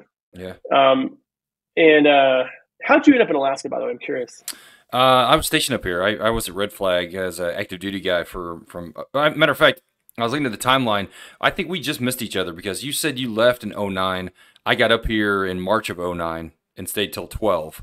Uh, so yeah, yeah, we we must have just missed each other. I think so. Yeah. Um, and where'd you leave from? Uh, Benning. Okay. Yeah, I got non-vol yeah. up here from uh, from Fort Benning because I've been there for 11 years. So somebody was like, "Yeah, he needs to go do something else." been there doing like the the thing, man. Like yeah, I mean, cool it, stuff. yeah, we were getting after it. I mean, it was I, I felt justified staying there, but yeah, somebody else didn't. So yeah, um, it happens, right? Sure. So I got to Iraq. Iraq was really interesting. This is where we got started at the low points, right? Uh, okay, we, we we talked about some low points. Um, I was stoked to Alaska. Thrilled. Couldn't couldn't have been happier. So excited. Yeah. Um, got there and basically a few months later went straight to straight to Mosul. Um, I'd never done urban stuff. I'd only been in Afghanistan. Um, urban was completely new to me. It's not something we'd ever trained. Yeah. Like other than a mount site, like oh let's shoot some Smoky Sams and like like we hadn't really trained urban casts. Right, right. um, like how confusing it is. Yeah. Um, and uh, so my first mission, because uh, I was actually at Qayyarah West, Q West, to South Mosul for like a month um, before I went back up to Mosul because there like it was like there was nothing. There was a, it was pointless. They needed us in Mosul, not QR West. Um, and uh, my first mission, Stryker. Um, we go out. We go to this place. We're supposed to meet whoever. We start, and I still don't know. I don't know where the hell I am, man. There's like 18 bridges in Mosul. There's like everything. There's a million routes. Like it's just ridiculous, right? Um, and we start taking mortar fire again, like just on our um, on our like nothing hit our Strykers, but like dude, like our doc was in the Stryker, and all of a sudden, like, because our ramp is buttoned up, I hear like there's a thumping on the ramp, and the platoon sergeant taking shrapnel to the ass, and um, like we got him in, our doc was patching him up, and like we, we're getting the hell out of here, right? So we start. I didn't realize how fast Strykers could go. I didn't know how mobile they were. They could just basically roll over anything. Yeah. Um, they're like Peyton, like get CAS. I'm like, so I was super ineffective, like trying to get them just to provide like convoy security for us because mm-hmm. I we were going so fast, like and like my trying to understand the map and like what we are doing, it wasn't great, man. Yeah. It wasn't solid. So I ended up because you had you had a whole route map of Mosul. I ended up like I I memorized by drawing every like I could draw Mosul via route, all of them, every single one of them, nice. all the colors, all the vehicle names, all the things. So it got to the point because that was so bad.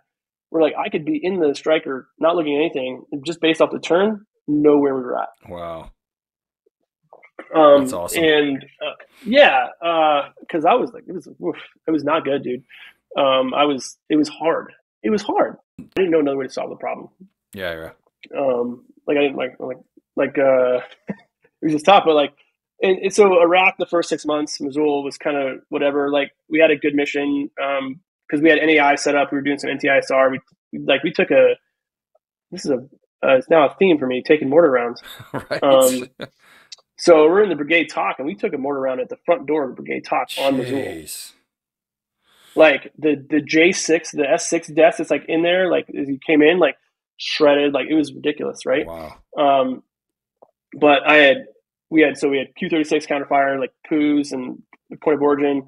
Uh, and my A10s were looking in that NAI where it originated from. So we actually got eyes on the vehicle. Nice. Um, and we had we had Rover for the first time.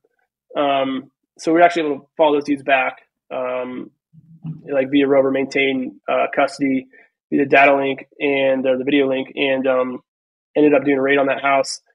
Uh, massive weapons cache. There was like a local real estate agent that was being held hostage uh, for monies, and if we hadn't found him that night, supposedly he was going to get executed by the, the, the terrorist group there. Man, that's um, huge. Which is that's... it's kind of cool, right? Yeah, for sure. Um, and like the so, dude, one thing I'm was getting messed up by snipers big time, and so we like we took their sniper off the street and we took uh, their indirect fire like leader off the street. Nice. Um, so we saw like it. So that was really cool. Um, uh, but then uh, I did my six months and they sent us back because I was supposed to PCA to Anchorage. And um, that's when the uh, surge and extension happened. Mm. So I was home for like 10 days, got sent back to Baghdad. Oh my God. I was, dude, it was the saddest thing in the world because like they were like Fort Wainwright, like, welcome home, dad, welcome home, honey. Like all the posters and signs you see when you come back from deployment, like, welcome home. Nothing, dude. Because those dudes were like on a C 17 to come home. like, well, we're just going to fly to Baghdad instead. Like, imagine having to tell the families. This. Oh, I can't insanity. imagine. I, we uh, we've talked about this very thing on this on this show uh, a couple times, and I, I just can't, uh, regardless of the the reason or the situation or what, I just can't fathom how they justified doing that to those guys. I mean, that's just crazy, man. Dude, and like, man, they'd like they'd lost guys already, man. Like yeah. they'd they'd had a tough fifteen months, right? Um, and no wonder, like, like not to like say so, like not to glamorize or like promote trauma. Like no wonder dudes are messed up. For sure. Oh, 100%. no wonder, no wonder dudes have a hard time. Like no wonder marriages suffered and failed because they totally screwed these guys. Oh yeah. Um, well, they screwed like, him. My personal opinion, they screwed him by having him be there for 15 months straight anyway. Let alone not letting him come home for a little bit at least, and then sending him. I mean, it's that's it's yeah, that's not that you're not taking care of your troops when you're doing stuff like that for sure. No, not at all. And then we got like, dude, we got to we got the BIAP to Baghdad International Airport, and I forget who it was at like the Air Force, like the AOC or whatever it was there um, at the palace. And they're like, "Don't get it in your head. You guys are calling in airstrikes. You guys are doing non-traditional ISR only. That is all you are here for." I'm like, well, "What are we doing here, man? You don't need a JTAC to do NTISR." Right. I was furious. Yeah. I was like, I was so mad. Um, and and that's and, and to be fair, like I say that not saying that anyone should agree with me that I should be mad. I would I would argue there's a lot of immaturity that went in with that that feeling.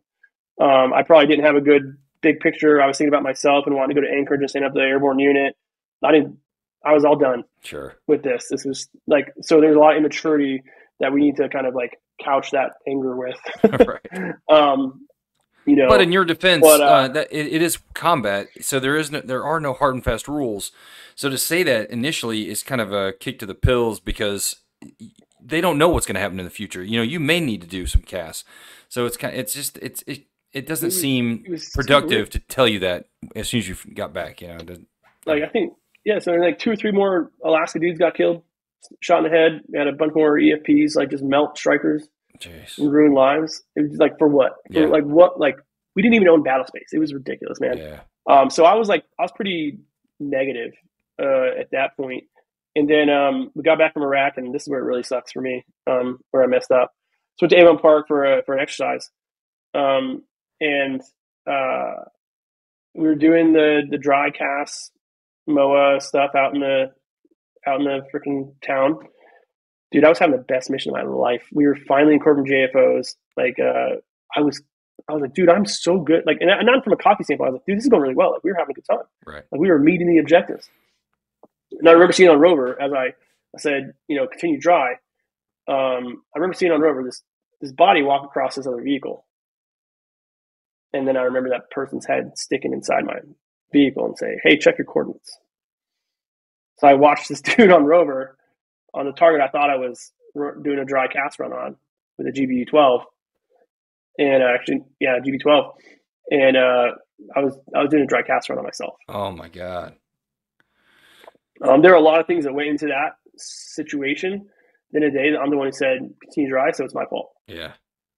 Um, and I saw. I'm like, then I realized I'm looking at myself. Oh man. And the pilot didn't know either he like he thought we were having a great mission. He didn't know until we debriefed. I was like, okay, and that's when we killed ourselves. Wow. Um, that was, dude, that was devastating. Uh, that was embarrassing. It was shameful. It was, it was a blow to my ego. I embarrassed the team. Uh, I, my team lost faith in me.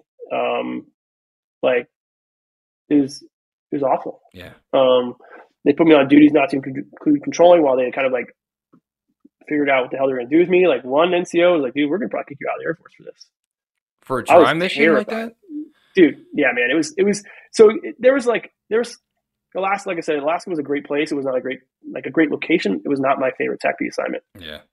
Um, for a lot of reasons. Most of them my fault. Right. uh, dude, I did like write, because my ROMAD was in the car, I had to write like a pretend, sorry, I killed your son letter. Wow. Like, it was not sweet. Yeah um, you know, I was walking around the ASOS. Just everyone knows that I'm the guy who killed himself. Super embarrassed. Yeah. Like just awful, man. So I got my remedial training. Um, they found out what I did wrong.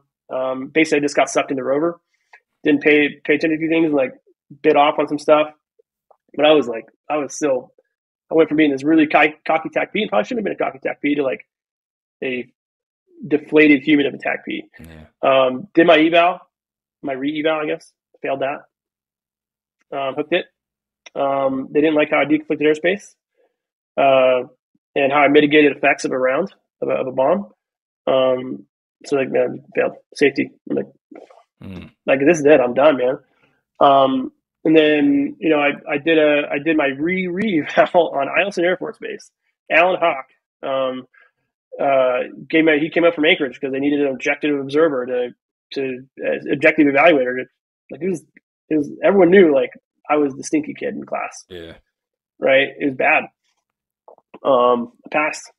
Uh, thankfully, I think I think after like I think there is a point where they take away your JTAC you know, certification for like in the in the reg somewhere like for sucking so bad. uh, but thankfully, I passed. Yeah.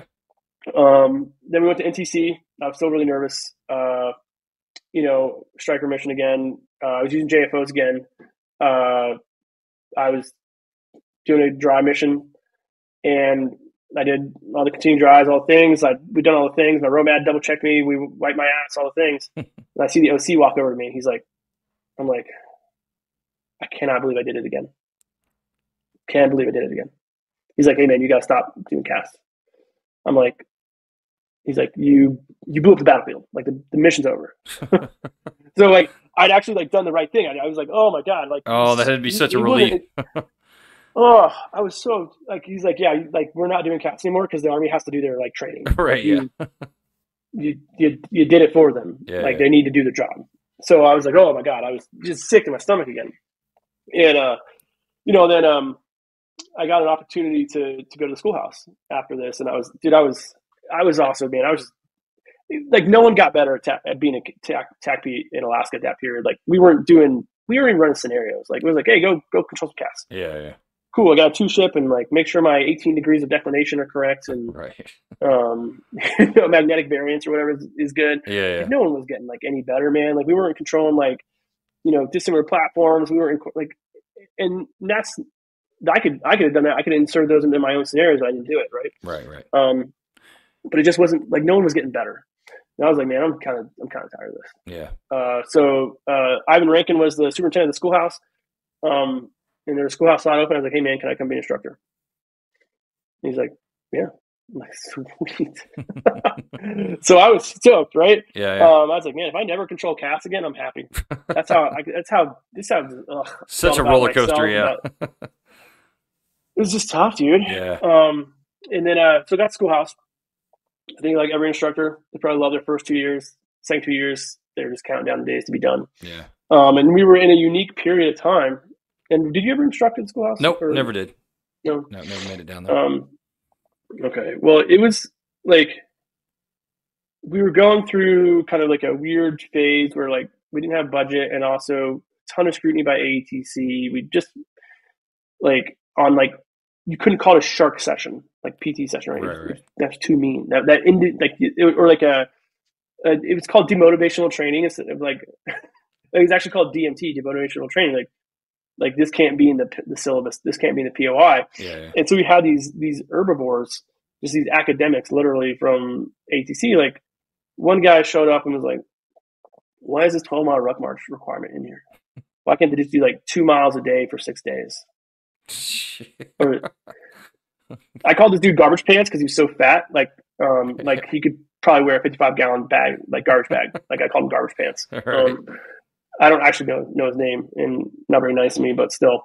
hey. Um, so uh, yeah, so you know, um, Chief Lundquist became our, our superintendent too, which Mhm. is cool.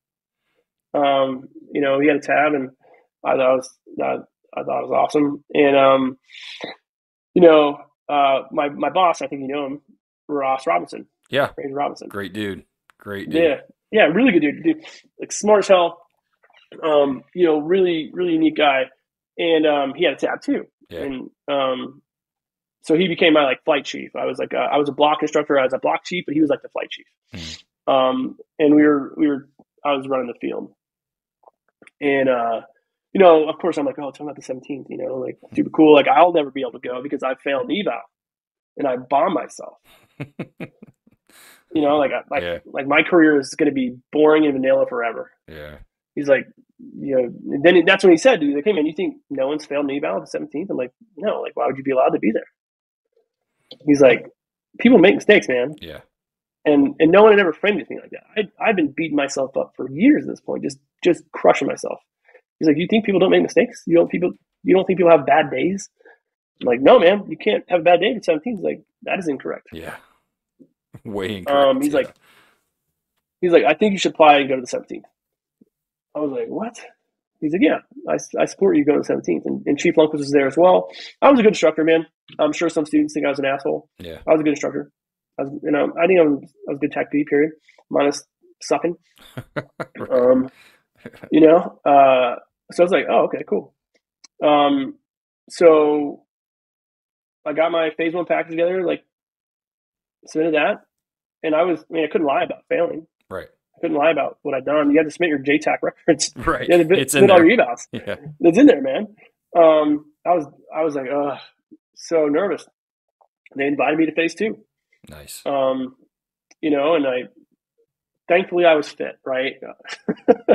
Dude, the guys that were uh, the cadre for like people like Matty Green, yeah, Richie Douglas, uh, like all these amazing soft TACPs, like legendary, like with you know mustard stains on the jump wings, like have made like amazing, you know, uh, impacts to the community. Like those are my my cadre for the 17th for the for the phase two.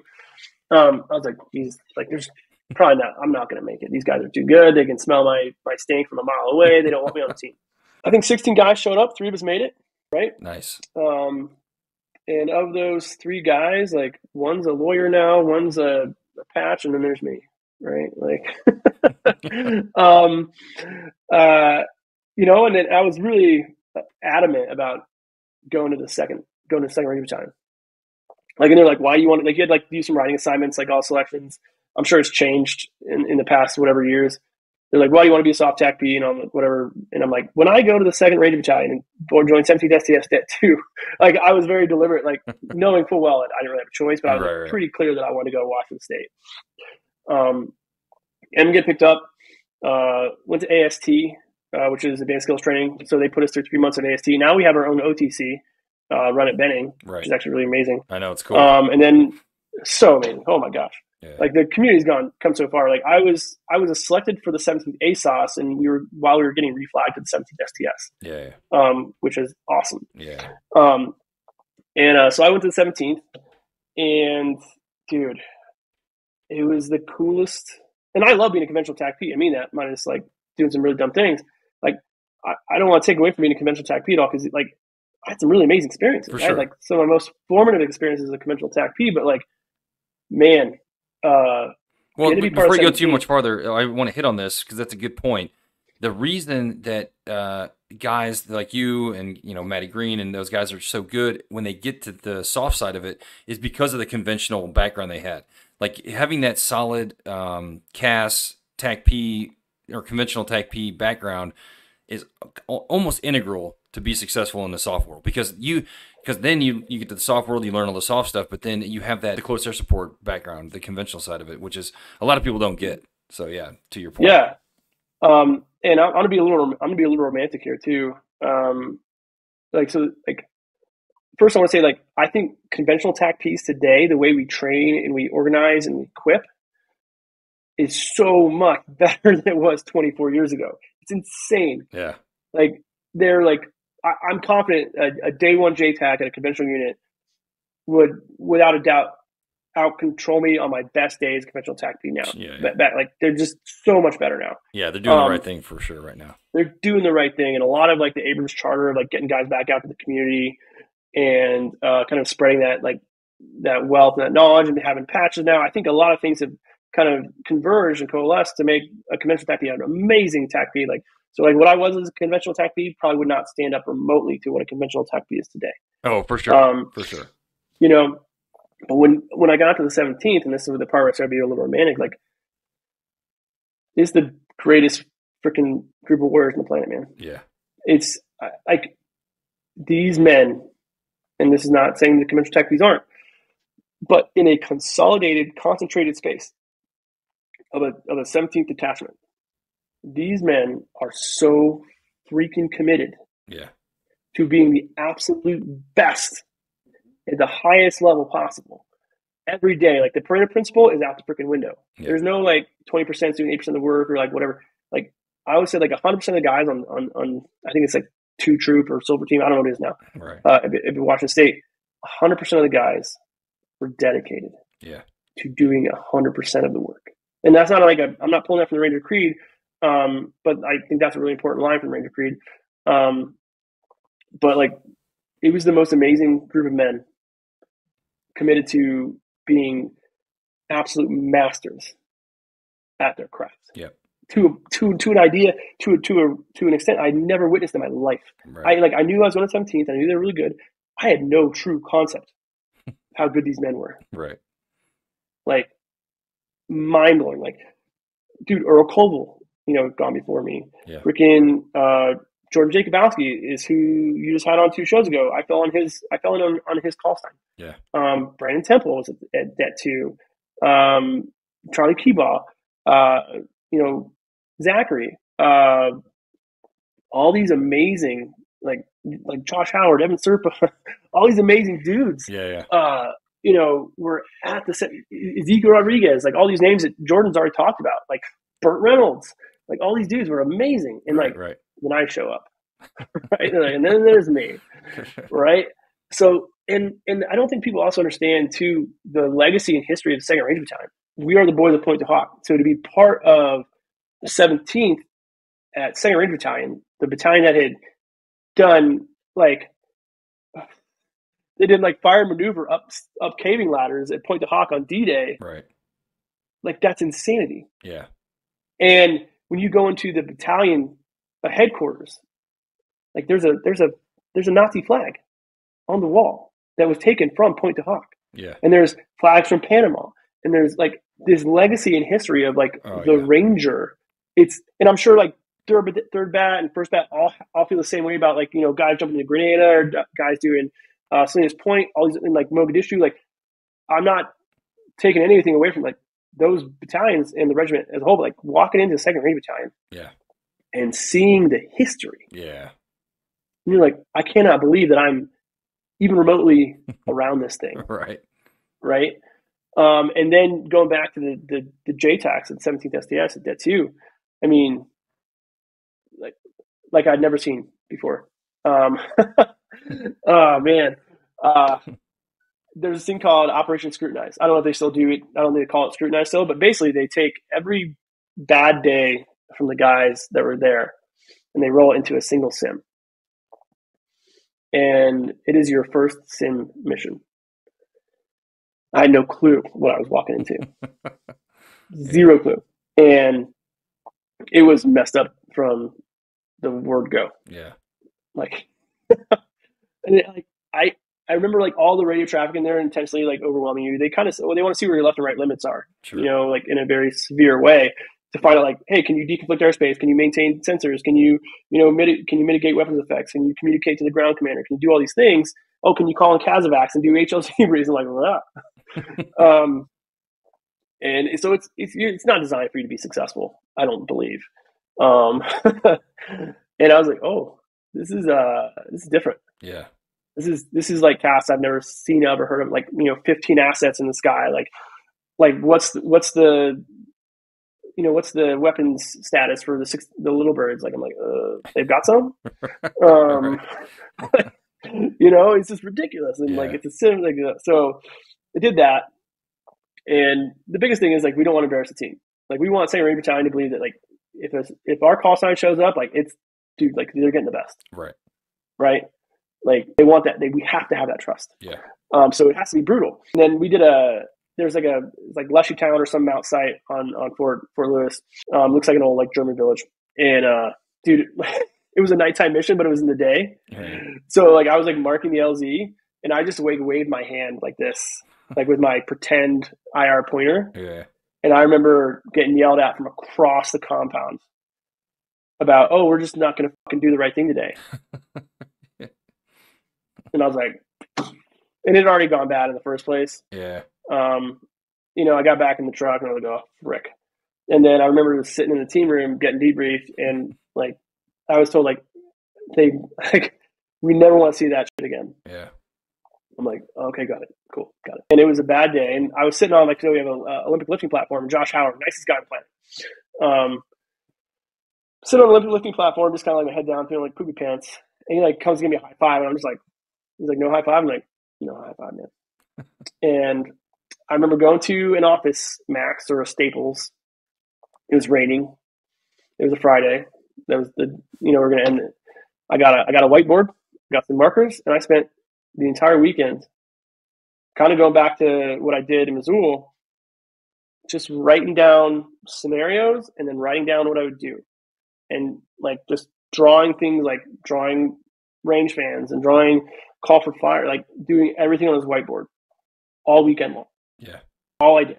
and that's when I kind of started turning around as a like I started like I didn't like I didn't go the next day. It wasn't like you know a, a, a rom com where all of a sudden I was like magical. right. Um, but I started kind of knocking things. I started getting better. Yeah. Like I would just go on kit runs and I would just do call for fires. I would bring uh, you know some guys with me and we just put stuff like I was like I cannot screw this up. I, I have to pass my eval. I, I cannot I can't screw yeah screw this up. Um, you know, and I, I had controlled CAS for four years because I was a technical instructor. So oh, I was also, right. also in a right. weird depth too. So I had to like I had to like requal like I had to like go through basically like M- IQT or MQT. Yeah. Essentially again. Um, so that was like really awkward too because I was an E6 and you had like E4s and E5s on the team that were just like they they'd already been getting after man. Mm-hmm. Um, uh, so I had, I, had to, I like unscrew myself too in front of Ranger because they like looked at me like I was super experienced and like I'd had four years I wasn't controlling CAS. Yeah. Um, so uh, got some deployments with with Ranger, um, and uh, you know, like the first the first uh, mission I did with Ranger, screwed it up, dropped the sensor plan. We lost the guy. Like it was like, oh, but hang on, I didn't realize how good Ranger was at doing Ranger things until like combat. Yeah, the best. I, I mean, I knew how good they were, but like you got to see it. Yeah. Right. It's almost indescribable Dude. what they do.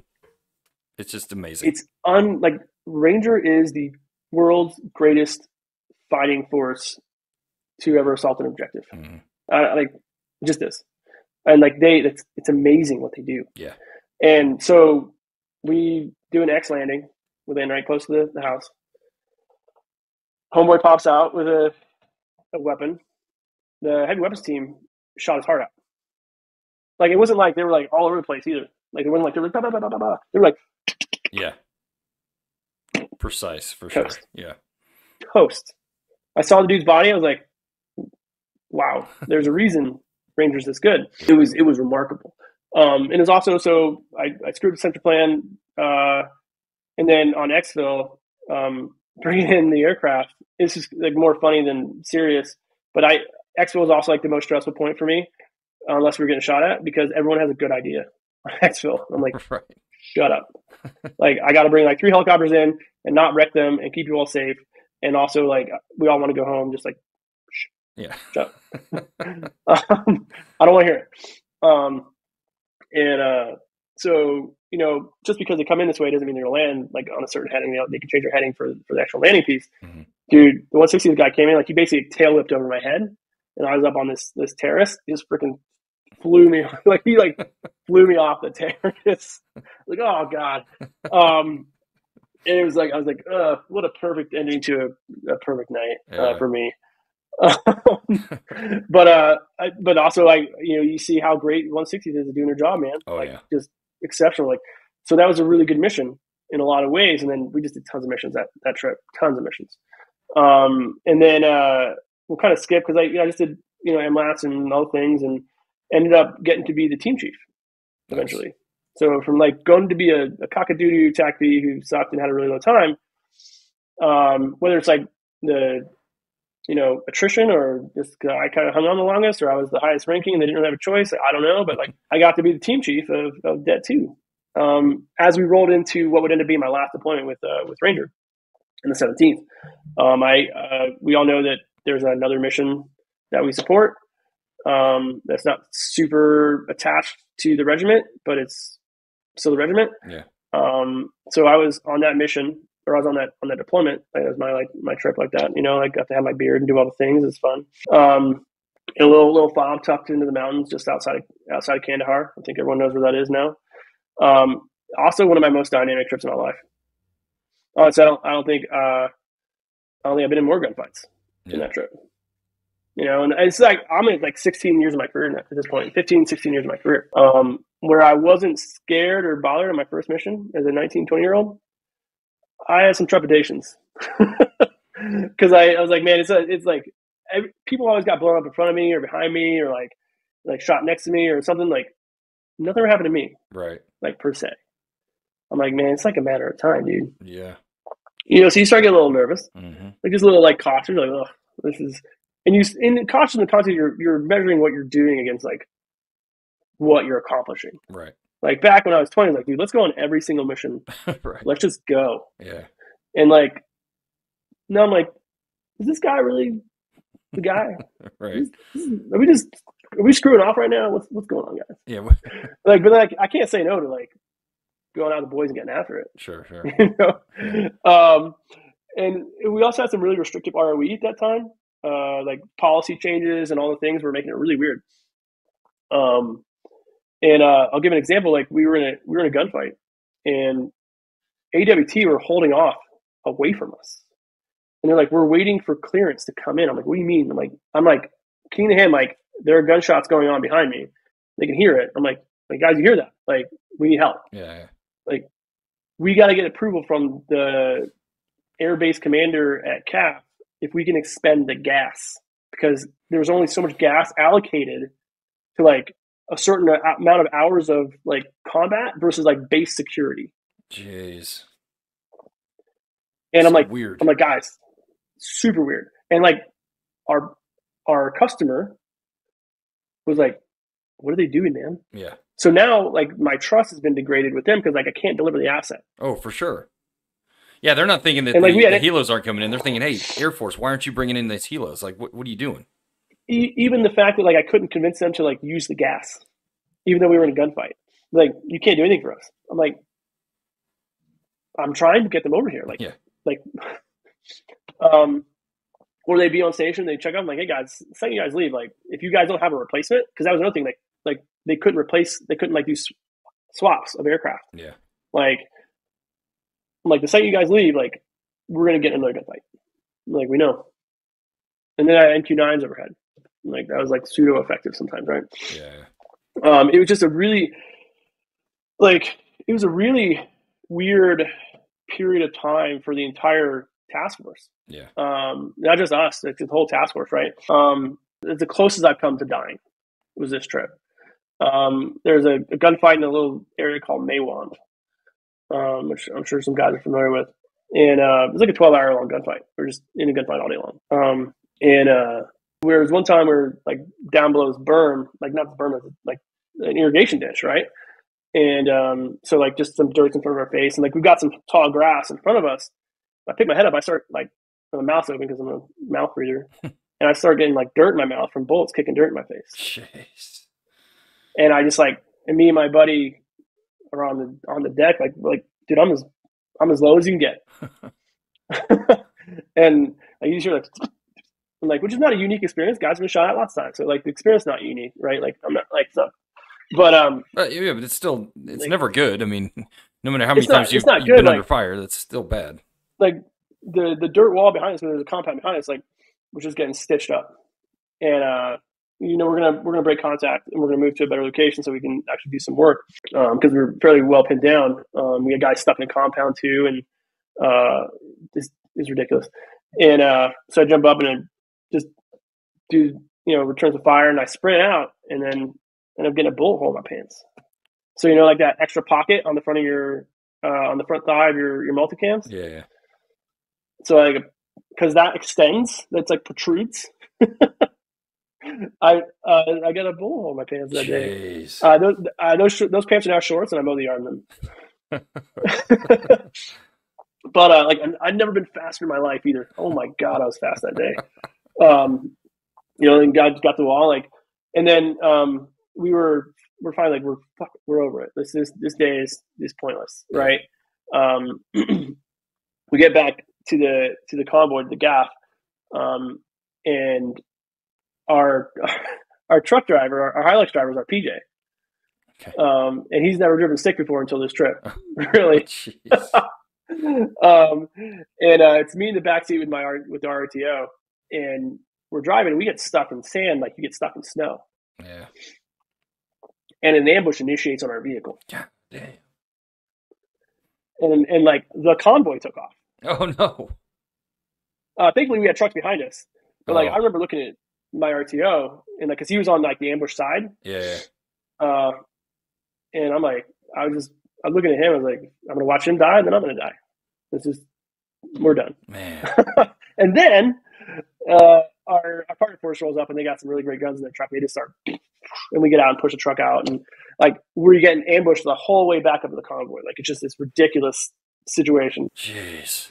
Um, and uh, you know, and um, this is also the last trip. I and I, I really want to talk about this. Not really want to talk about it, but like it's important. Um, so so not knowing is my last combat deployment yet, I we were in a on a mission and we were getting shot at. We had the guys on a motorcycle, and uh, at AWT on station, great. they were actually allowed to fly this time, great. Um, so ended up doing a call for fire on those guys, took them out. Um, I actually never said this to anyone, but and that's the last call fire I ever did in my in my my career. Um, I didn't get emotional like I wanted to cry, but I was kind of overwhelmed. Yeah. Um, and like I was just like, I think I was exhausted. I don't know what it was, but like, I didn't feel. I was. I mean, I happy. I was happy I did my job. Yeah. But I was just like, it's kind of. It was tough. I don't know why. I didn't feel bad about killing the guys. Like, um, it's just, it's just emotional for some reason. Um, I don't know, and I, I can't explain it. And I mean, you've been doing this since the beginning, and it's like, you know, after a while, it takes its toll on you. You know, it's just it, it, it becomes. I think to I think for a lot of guys, it becomes less cool and more like a slog and it's and that, like it's it just emotionally it's a it's a you know having that heightened awareness and that heightened sense of purpose all the time just is exhausting it was it was a relief I did it right. It was the relief that it like it wasn't us. Like it was just like I was like, oh. And then that same day, um, we'd had a one of our partner force vehicles hit a an IED. Yeah. Dude was sitting in the back uh, in the in the bed, and one guy got his kind of his his face peeled off a little bit. Mm. You know, um, and uh, we knew we were gonna hit IEDs. We we, just, we knew it. Yeah. Like, we, like we're like this is gonna suck. Like show something out. So um, and this goes back to Operation Scrutinize, um, where like I had like three troops in contact at one time, and I was having to in the sim in the scenario in the sim like three troops in contact, maintaining a squirter, doing a CASEVAC, all these things. Like it goes, and it also goes back to like having to change fills and vehicle nav and do all these things in the cold, and like people like you can do more than one thing at a time, and like then go into the sim, like oh my gosh, so much, so many things are happening, right? Yeah. Um, and then going to the finance real world scenario where like we were in troops in contact, we had an IED, a guy had been hurt. Uh, I'm calling in dust off. Uh, the EOD team is clearing the HLZ. I'm doing the HLZ and CASEVAC briefs, um, managing all the other air assets, and like so. So the same day I did the call fire, right? I felt more pride in myself and was like happier that I'd done the CASEVAC and like managed all the things yeah. really well that day because like the the dude he's alive, like he, he lived and all things. And yeah, yeah.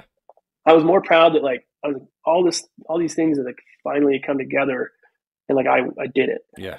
Right. Like I was I was more proud of getting that dude out of there and doing it well and getting him taken care of than, than I was like just doing a little shitty for fire on two dudes on a motorcycle. I didn't really care. Right. Right. I was like, oh.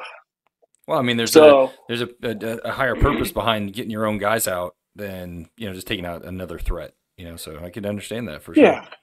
So I was, I was, I was just happy. I was like, that's interesting that I was, I was more happy doing that than I was doing the kinetic piece. Mm-hmm. Um, you know, something I, I thought about. But um, so on the same trip, uh, I came back from a another mission, another gunfight, and um, we had Wi-Fi on our base, right? Like we could talk and text, and you know, iMessage, you can talk to people.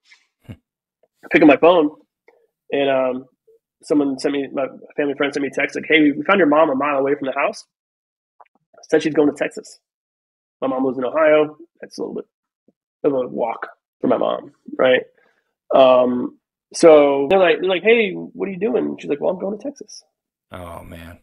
So clearly, like some dots are not connecting, right? Sure. Um, find out she's been having like these seizures and like Lewy body dementia. Like she, had, her brain was going. Mm. Um, and going back to like my brothers, like I'm the only one left. Um, and despite anything happening as kids, like the nicest thing anyone's ever done for me is adopt me. Yeah. Like you and I wouldn't be having this conversation if I wasn't adopted. Like right. I, I wouldn't have like this house and my wife and these my kids. Like I wouldn't have any of this stuff, man. Um, so I had to figure out a way to solve the problem. And it's not the solution I wanted, man. Uh, it was leave the 17th and join the Air National Guard. And me leaving the 17th made some people mad. Um, they did not like that. Uh, and that was not my intent, but they felt like I was quitting the team. And I felt like I was quitting the team. Like it didn't even make me feel any worse.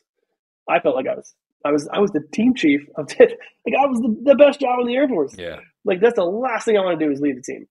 Um but uh you know, um it it it made some people upset with me. Um and uh but I was also confused like I'm doing the right thing for my family. Like right. my mom is like her brain's like Swiss cheese now. Like she's walking to Texas, she lives in Ohio. Like I'm the only one left. Like I I've got to go take care of this problem. For sure. Um, so, um, reached out to my buddy Roman, who I mentioned initially, uh, who was now the Intel patch at the 174th um, attack wing in Syracuse, New York, which is an MQ9 base. Okay. And interestingly enough, I was using their call sign on that mission. Okay. That I came back from. So they were supporting task force, which is cool. Um, and I and I wanted an active duty slot. I was an E seven. The the TACP shop at Syracuse didn't have an active duty slot. Um, I was like, I need an active duty guard slot, man. He's like, I think we can get you one. I, I had a four year degree in Intel already. Um, I was actually doing grad school on that deployment too. Nice. um, but uh, yeah. So long story short, got back from that deployment, um, and uh, left active duty and moved my wife and I, we didn't have a kid at the time, moved my wife and I across the United States to Syracuse, New York. Um, and I don't want to spend a lot, too much time here because um, it's not really a remarkable time in the context of like my career. Sure. But I like, dude, Intel is freaking awesome. I, I think Intel, like, yeah, sure, I have a four year Intel degree, but that's like you did a bunch of book reports. You didn't really do anything. Yeah. Right. Um, but I knew the customer that they were supporting because it was me, it was my teammates. Right. Um, and uh, like the way I explain Intel, especially Intel and direct support to an MQ9 or assets that, that is directly involved in combat, is that Intel professionals in this all source intelligence model, they should be the most bloodthirsty people in the room. Because the only way you get to a target is Intel develops a target. Right. That's why beginning of every packet is like a road to war. How did we get here? Yeah. What intelligence did we do to validate this target? That means, and I, I equate it to hunting. Uh, if you're out of state, if you're an out of state hunter, I think you have to, you like legally have to have a guide for hunting in Alaska. I think. Who knows the most about the animal? The guide. Right. The guide is being paid to put you in the very best position to do the thing that you want to do, which is kill the animal, right. harvest the animal, like have the greatest experience of your life.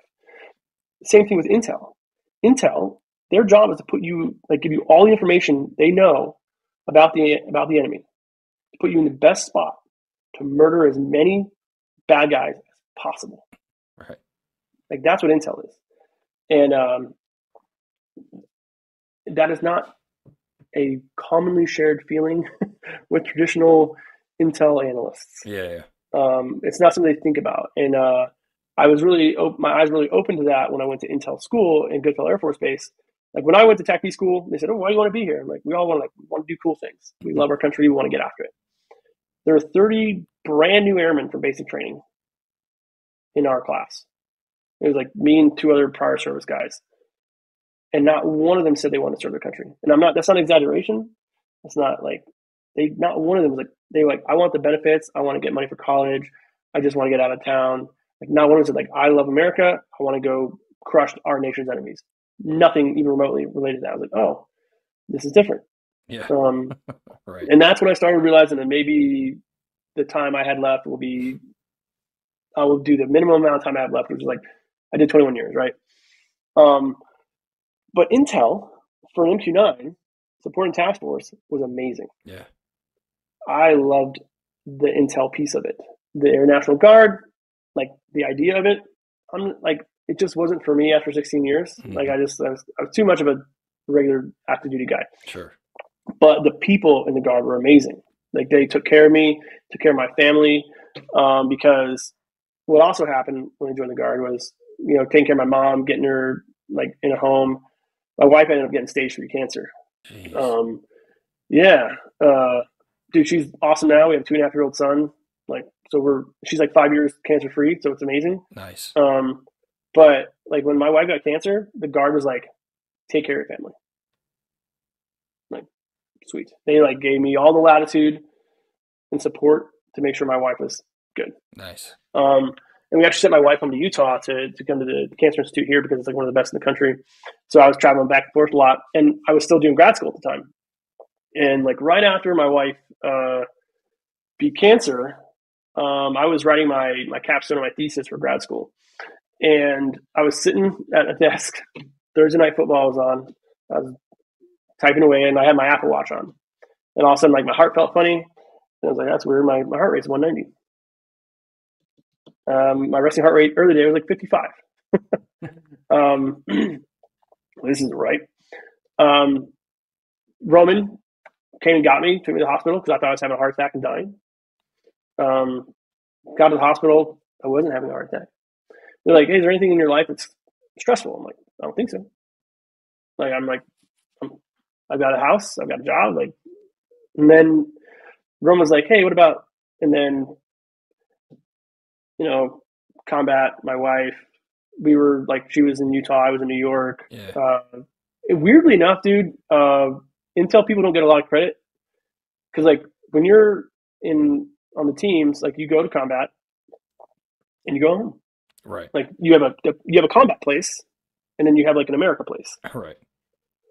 Intel people don't have that in the, especially in the MQ9 space. Like, they have like a combat room, then they go to another room where like you're not allowed to talk about anything. Yeah, yeah. It's called like outside. right. So there's no like it's really weird. Like these dudes are actually under these guys and gals are actually weirdly under a lot of stress because they're they're seeing super messed up things. Yeah. Like and then they walk out the room it's like nothing happened. They can't go home. They can't, they can't like it's very strange. It's not something like I would have been like whatever nerds as attack P, but like now that I did it, I'm like oh, it can take a toll on you. Um, so like all these things combined, apparently I was uh, starting to, to realize the, the the PTSD and depression stuff. Oh, okay. Um, in a pretty significant way. Um, so I started getting help though.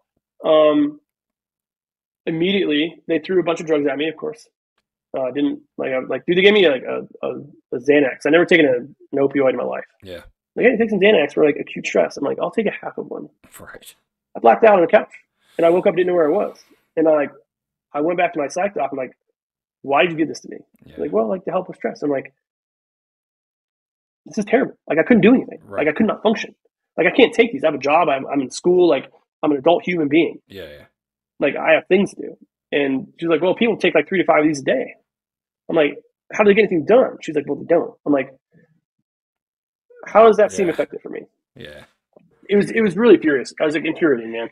So I I knew like it was time to get out of the Air Force and retire. Mm-hmm. Like I wanted to be in Utah. Like we were we were all done with it. Like I was like getting pissed off about having to like blouse my boots and wear a PC outside. I'm like, what? Why do I look like a a, a garbage man or bus driver right now? Like, what's the point of this? Right. Like, why do I have to get a flu shot? Why do I take a PT test? I've yeah. proven that I can get a, a max on a PT score my whole career. Like, at some point, just assume the fact that I'm not going to be a complete dirtbag, right? And let me not take PT tests. Yeah. Um, I was just it was clearly it was time to go. Sure. Um, but one thing about the guard, uh, and this is kind of how we get to the end of my career, uh, that really helped me, and I don't think would have happened if I had stayed because I'd have been the 17th, you know, Det 2 guy, and maybe gone to Benning or maybe gone to Herfield, like to do like some staff time. You know, I, I wouldn't have gotten away from it. Right. I just stay kind of in it, you know, to degrees. Uh, and I don't think um, it would have provided me the, the, the space that the guard did to really start planning my exit. Yeah, I started planning my exit like three years out because I knew like pretty quickly after getting to New York, I was like, this is not for me forever. Right. This is a great opportunity and it solves a problem. Um, it's not a great opportunity. Like it's not forever. Sure. Like Syracuse, New York is not our jam. Um, it was when I was like 21 imparting it uh, Syracuse University. Right. um, I'm not doing that anymore. Yeah. Um, so I actually I I uh, had a very deliberate planning process for my exfil nice. for retirement. Um, you know, I I, uh, I wrote a, the five phases of a direct action raid. I wrote that for getting out of the military. Yeah. I, I had all five phases. Um, I had MNFORCE requirements. I had appendices. I mean, I don't. It was just a word document, really. Like, wasn't like some sexy like thing. It just it helped me tie my things in. Did backwards planning timeline process. Yeah. And and uh and that's kind of and like I got my got grad school done. Um, and that's kind of really what helped me get out of the Air Force well. But even the retirement was weird. Um, because I did Skills Bridge, um, which is the, the internship you can do the six months before you get out, or yeah. I think they changed the rules now based off rank structure. Um, but I did a Skills Bridge that got me back to Utah. Nice. Um, and uh, it was right. I, my Skills Bridge started three months before the government shut down or the, the country shut down for COVID. Oh, okay. Um, and um, so I didn't go back to New York to retire. I retired over the phone. like, and when I say retire over the phone, it was checking with the MPF, the the military personnel flight or whatever it was, and like, it was like, hey man, all your documents are good. Thanks. Bye. that was that was that was my retirement. Jeez. Um, and it wasn't like oh, I can like, and not like a, uh, I need to thank you for my service. That's not what I'm saying. Like, it was just not like a retirement like you'd think. It was just like literally like, hey, like, I called the hotline and made sure that my documents were good to file. And they're like, yeah, you're good. I'm like, I'm like thanks, guys. Yeah, it's very anticlimactic for a you know a, a 21 year career of military service. It was just fascinating, like like, and, and it, it was so crazy.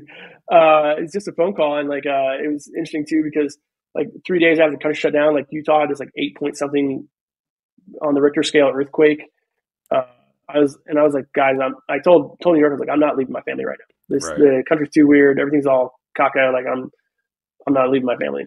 Um, you know, and uh, so and then I I I got the Air Force and got my first job at L3 Harris um, as a product manager, and um, the interesting product the product I was using was the product that created my downfall in Alaska. Oh. Product I was managing.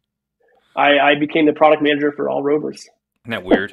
it is weird. funny? Um, it's super funny. Uh, and you know, I never thought I wanted to do defense industry, but now that I'm doing it, like I can't probably imagine doing anything else. Yeah. Um, you know, like L3 Harris was a great experience for two years. I got a I got a really good exposure to the industry. I had a terrible boss. Um, he yelled at my engineers one day. My engineers been busting their ass uh, to do this thing that was kind of like a side project, like passion project that wasn't actually really funded.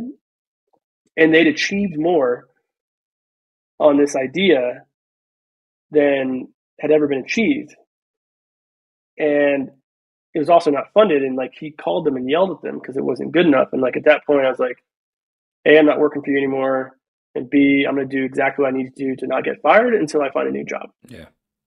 Because like i'm not i'm not doing this man. Like the like and but it was a, like and l3 harris is a great company. They make great products. Um i just it just wasn't for me man yeah uh so i ended up going to panasonic which is really weird to be their lead of strategic business development which is just my job was to find new opportunities.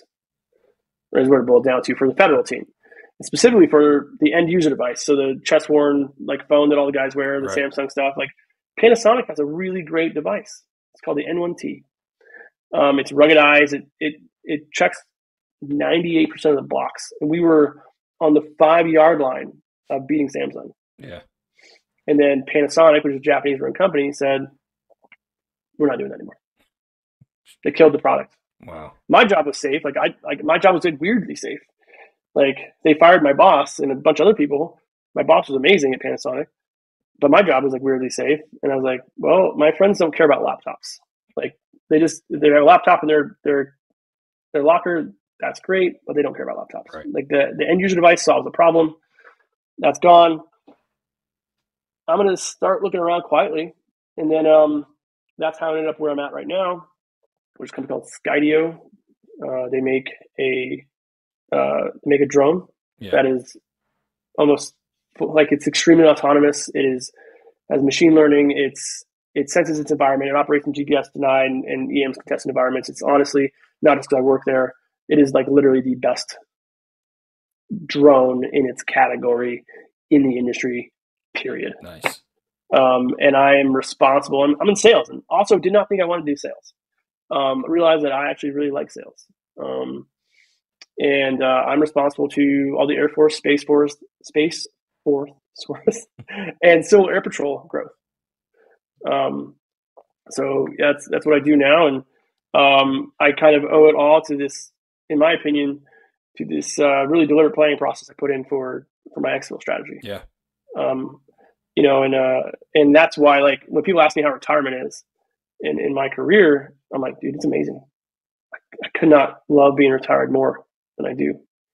I'm really fortunate to be able to say that because even though LPRs was my favorite experience, like I've had really good opportunities the whole time I've been out of the military. I, have, I haven't had to like kind of flounder or struggle between spaces. I'm not saying they won't happen at some point, mm-hmm. But um, I've I've uh, I've had the opportunity uh, to do really well, and I, I think it's because of my ex- exit plan. Yeah. So I'm actually like, weirdly passionate about that um, for guys. No, it's a good point. So yeah, man, that's like yeah, that's my life. That's my career.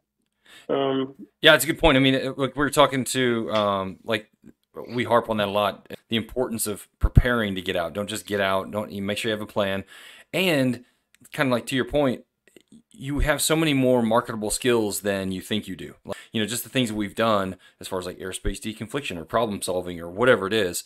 You know, people don't give themselves enough credit, and where uh, you're a perfect shining example of what you can do if you just plan properly and you know go out there and get after it. So yeah, it's awesome. And it kind of goes back to like I didn't really like, dude. I made the decision to be TACP like at a in a conversation in the middle of the night in the barracks. Right. I was like, that sounds cool. I'm doing that. Like that was like that was my decision making process. Yeah, yeah. Right. Like it wasn't like very well thought out. Right. Like I mean, it made sense, but it wasn't like I didn't spend a lot of time deliberating. Like now you come come forward like 24 years, and uh, you know maybe some approaches have changed a bit. um, you know, I wouldn't call them mature, but they're better than they were. Yeah, yeah. Um, and uh, it's, I mean, I, dude, my life is amazing. Yeah. I like, yeah, everyone's life is hard. Like people have tough times, but, uh, dude, my life is like everything's, my wife is freaking beautiful. Our kid is amazing. Uh, dude, like, it's awesome. But it's kind of like we were talking about. I mean, you, you know, you, you had a couple of hiccups, you know, your wife went through her thing, your mother, but at, at the end of it, if you just keep plugging away and, and don't give up, it eventually will work itself out eventually, you know? And like, in a, dude, I'm so proud I got to be Tech Yeah. So proud. It's one of the coolest things on the planet. Yeah. Like, and I'm glad I like I had some mistakes, but like I think I did an okay job in my career. Yeah. You know, um, and I'm really like, it was the most fun, dude. 21 years, it was the most fun. For sure. Uh, I, I wouldn't change a thing. Right. I feel the same way. Um, yeah. Uh, yeah. So that's my career. I noticed you wrote some stuff down. I always ask people about their initiatives and their charities or you know some causes that you want to talk about. Did you want to talk about any of these yeah. that you wrote down? I will for sure. Uh, there's one that I left out that I'm an idiot for doing it, but I, I corrected on my notes here. It's Hunter Seven Foundations. It's the first one I want to talk about. So the Hunter Seven Foundation is, I think most guys that listen to the podcast are probably aware, like they are the leading nonprofit to to help kind of bring awareness to to cancer related toxic exposures in veterans. Okay. Um, and I, I, don't know if you've heard of them or not, but I have. Uh, I, I, just I'm not as familiar, but yeah, I have heard yeah. of them. So they they are like the leading nonprofit that's not just doing like work, but they're doing congressional efforts to to bring awareness to to the, the vast amount of uh, cancers that are occurring in in veterans right now. Um, you know, and, and kind of how this all came to me, 107 itself is a my wife had cancer, um, so I have a I have a passion for that because she's alive, thank God. Um, and then uh, it sucks big time, but uh, because Christy had cancer, um, one of our teammates, Luke Page, um, he he had he ended up with cancer, stage four cancer, like a very rare, very rare like cancer, like four thousand white dudes that are over sixty five get a year. Yeah, like Luke Page is not that dude. He's young, he's massively fit, like he's a monster. Um, all of a sudden, like he's got full blown stage four cancer uh, I forget who told me about it, and I reached out to Luke. And then I had a friend who knew about Hunter Seven because Luke was trying to get care at the Mayo Clinic because they were doing ex, like they were doing clinical trials on his specific type of cancer. But but the VA was like, no, we're not going to pay for that. Dude, Hunter Seven mobilized the entire federal and state legislative body of but Florida. Mm. The whole like the whole legislative body, like from the governor of uh, Florida, both like Democrat and Republican, like uh, senators and congressmen, like from state and federal, like they mobilized the whole thing and got Luke to the Mayo Clinic. Nice. Um, he went into remission. He got more time with his family. Unfortunately, the cancer came back, and uh, it came back pretty quickly, uh, pretty aggressively, and he ended up passing away. But that's so 107 it, it, of all the foundations, of all the charities, like uh, especially guys like the Air Force is like one of the the, the largest recipients, but like diagnoses of cancer because they're just sucking down jet fumes all day. Right. Apparently, um, but Hunter Seven they're doing like incredible work to uh, to help prevent these things. To include like um, early det- early detection is the biggest thing, right? Yeah. Like my wife, we she had we knew she had a problem for like a year, but they wouldn't test for it, so that's why I got the stage three early detection is the, the biggest thing possible. Right. Um, so they do a ton of fundraising. Um, they just fundraised like just Black Rifle Coffee, the UFC, and Hunter Seven just all kind of fundraised together, like at the latest UFC fight. In oh, New York I City, did see and, that. Like, yeah, that's right. So, dude, like if anyone has a, a dollar to spare, they should and they should go to the Hunter Seven Foundation first, in my opinion. Um, you know, and I'm really good friends with those guys. And then we have a non like we have a nonprofit. So my family's my wife's family, we manage 10,000 acres of mountain here in Utah. Um, and uh, through a, we run it, we manage through a foundation and we partner with a nonprofit called of the Brave. And what that means is uh, because of the way the property is structured in the foundation and then work with of the Brave, we can get all expense paid once in a lifetime elk, mule deer, and moose hunts for veterans. Wow. That's awesome. Um, Jordan Jacob Jordan Jacobowski's been out here. Ryan Duhan's been out here. Jason Hoover's been out here. Brian Schieffer uh, was here. Um, we've had 160 pilots. We had Vietnam veterans. Um, uh, we've had you know Green Berets. Uh, this last season, we just had Earl Plumlee, who's a Medal of Honor recipient, um, out here.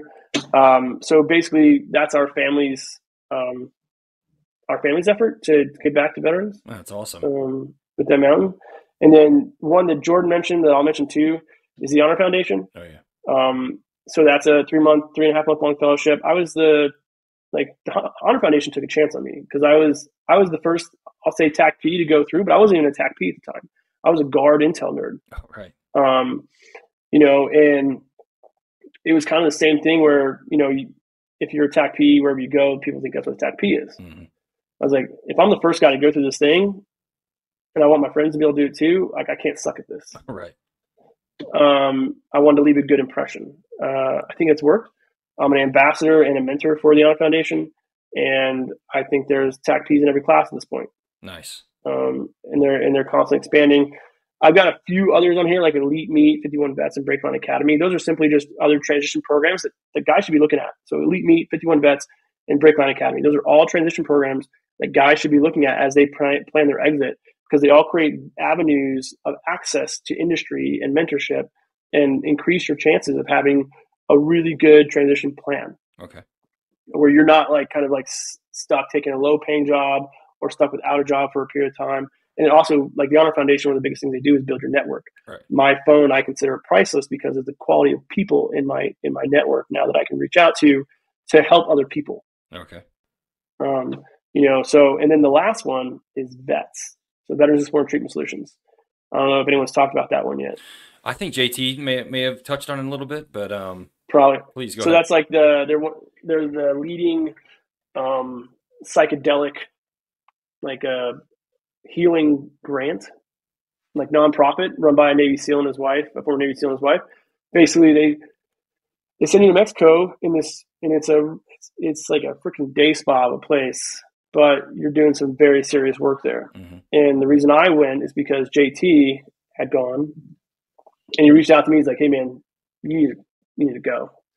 And this is, you know, I've been maybe out of the military for a year. We just had our son. He was three months old.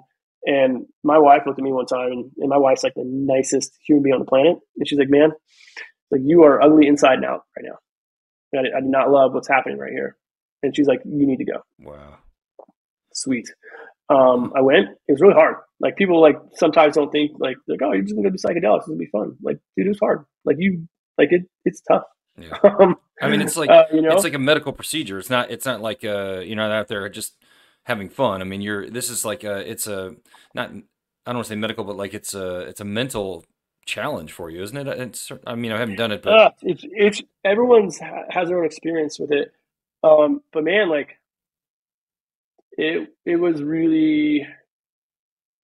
So JT was like, "Hey, man, it's like the hardest thing you ever do." Like, I'm like, "Okay, cool." Like like one percent harder, like two percent harder. Like I've done some hard things. Like how hard? And I told JT afterwards, I'm like, yo, dude, you you lied to me about this.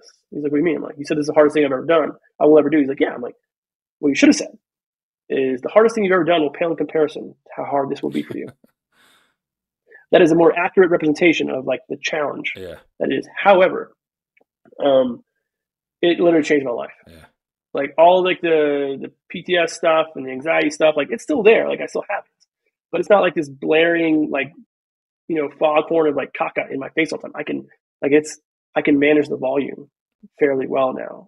Um, like well, an acute example is I have no problem falling asleep, but before I went to Mexico, every night I would have violent combat dreams, like I'm getting murdered. I'm like something something suboptimal is happening, and I'm going to wake up because I don't want to have the dream anymore, and I won't go back to sleep at that point. Wow. Like, so that was before before Mexico. Yeah. And since Mexico, that happens like one percent of the time. And by the way, when I was doing the medicine, doing the psychedelics, I had almost no combat related like psychedelic experience. I thought I was gonna be like, oh god, it's just gonna be like almost nothing like of my psychedelic experience was associated with combat. Wow. Um, but that that's just an acute example. There's a lot more to it, but like to give people an example as they listen to this podcast, like what are the outcomes? Like one of my biggest outcomes was I can sleep and not be terrified about what I'm going to see when I fall asleep. Yeah. Um, and that was huge. Um, but uh, and also going back to like when they prescribed me Xanax, they also gave me like antidepressants and all the things. I don't take anything. I don't take anything. Yeah. It is this is the only thing for me personally that I've seen have a significant lasting benefit. What was uh, so it wasn't combat related, but what what kind of experiences were you having? Was it more childhood trauma or was it just Yeah, childhood trauma but like not like yeah, so it was childhood trauma but like uh it wasn't like um I was just getting my ass kicked the whole time parents anymore. um it was just it was like senses and feelings, and it's really hard to explain. We call it like a multi-sensory experience. Yeah. But like, for example, my, my dad died, right, when I was young. I've always wondered if my, my dad knows he's dead. That's like a weird question, right? Right. Um, so I didn't know that bothered me. Um, so I ended up living my dad's death for him. Wow. Like, because my dad died on an operating table, open heart surgery. I did that for him.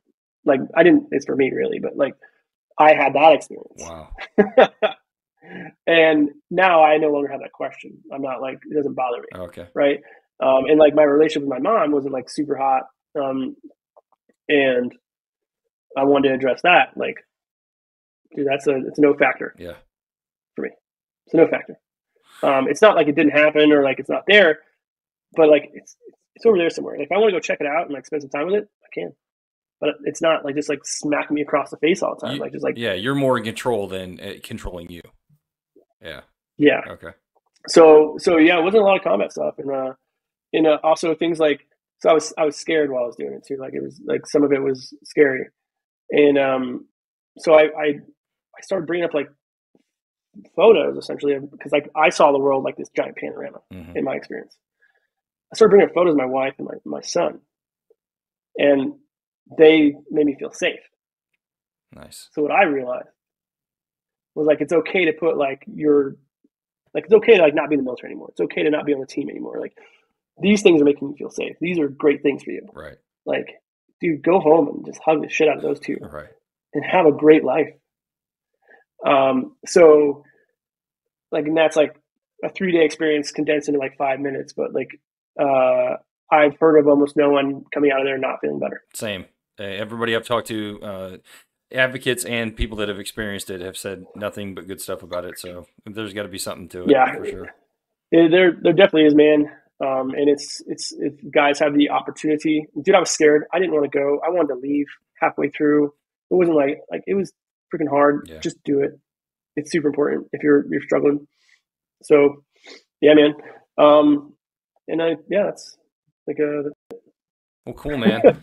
This uh, this has been awesome. Uh, I I can't thank you enough for doing this. Uh, I love I love ending on stuff like that, like because the, the, all the other stuff is important, and I like hearing about you know what you went through as far as your career, but kind of tying it up in a bow with some positive lessons for yourself, but also for other guys is, is just great. I think it's great. I, I think you're a good example for other guys that you know if they're if they're questioning you know getting some PTS uh, treatment or whatever or business stuff or getting out of the military, whatever it is. I mean, I think you're a good example for all that. So I hope I'm I'm thinking I can't thank you enough for sharing, man. Dude, thank you, man. Like you're like going back, like you're a freaking living legend in the community, and like you're creating this this uh, this forum for guys to basically like do like talk therapy and uh, kind of cap off their careers. Like this is amazing, dude. Like and you've had like like dude, I, I had a cool career, but I'm not a living legend. I'm not like anyone significant in the community. Like I was a good TACP, but like you've had some freaking amazing dudes on this podcast. So like for me to get to like be like literally in the same room virtually as these guys, like to get to talk about being a TACP and like you're doing that. Like you are making this thing available and it's freaking amazing, man. Like I hope like I hope you're really proud to put it put oh, it mundanely. It. I, I, love it. I um, love hearing. I love hearing the story. Like Kelly, I was talking about. Uh, I was talking to a dude yesterday. Um, uh, Kevin Wahlen, he, we we hang out with these guys all the time, but we hardly ever dive deep into their lives, you know. And it's it's nice to hear, mm-hmm. you know, some guys that we have run into or even shared some time with. Uh, it's nice to hear their stories and kind of get some some firsthand accounts. I mean, it's really cool. I, I love it. I I, I, geek out about it all the time. So it's it's it's kind of selfish and, and a little bit on my part just because I get to hear all these stories. So it's it's cool. I love it. I, I love it. I'm I'm super appreciative of this and like thanks for letting me run my mouth about. Oh, for sure, man. It was it was great having you on. I, I can't thank you enough for doing it. I appreciate it. All right, man. Well, I hope you guys have a great rest of your weekend and an amazing Thanksgiving. Yeah, you too. All right, buddy.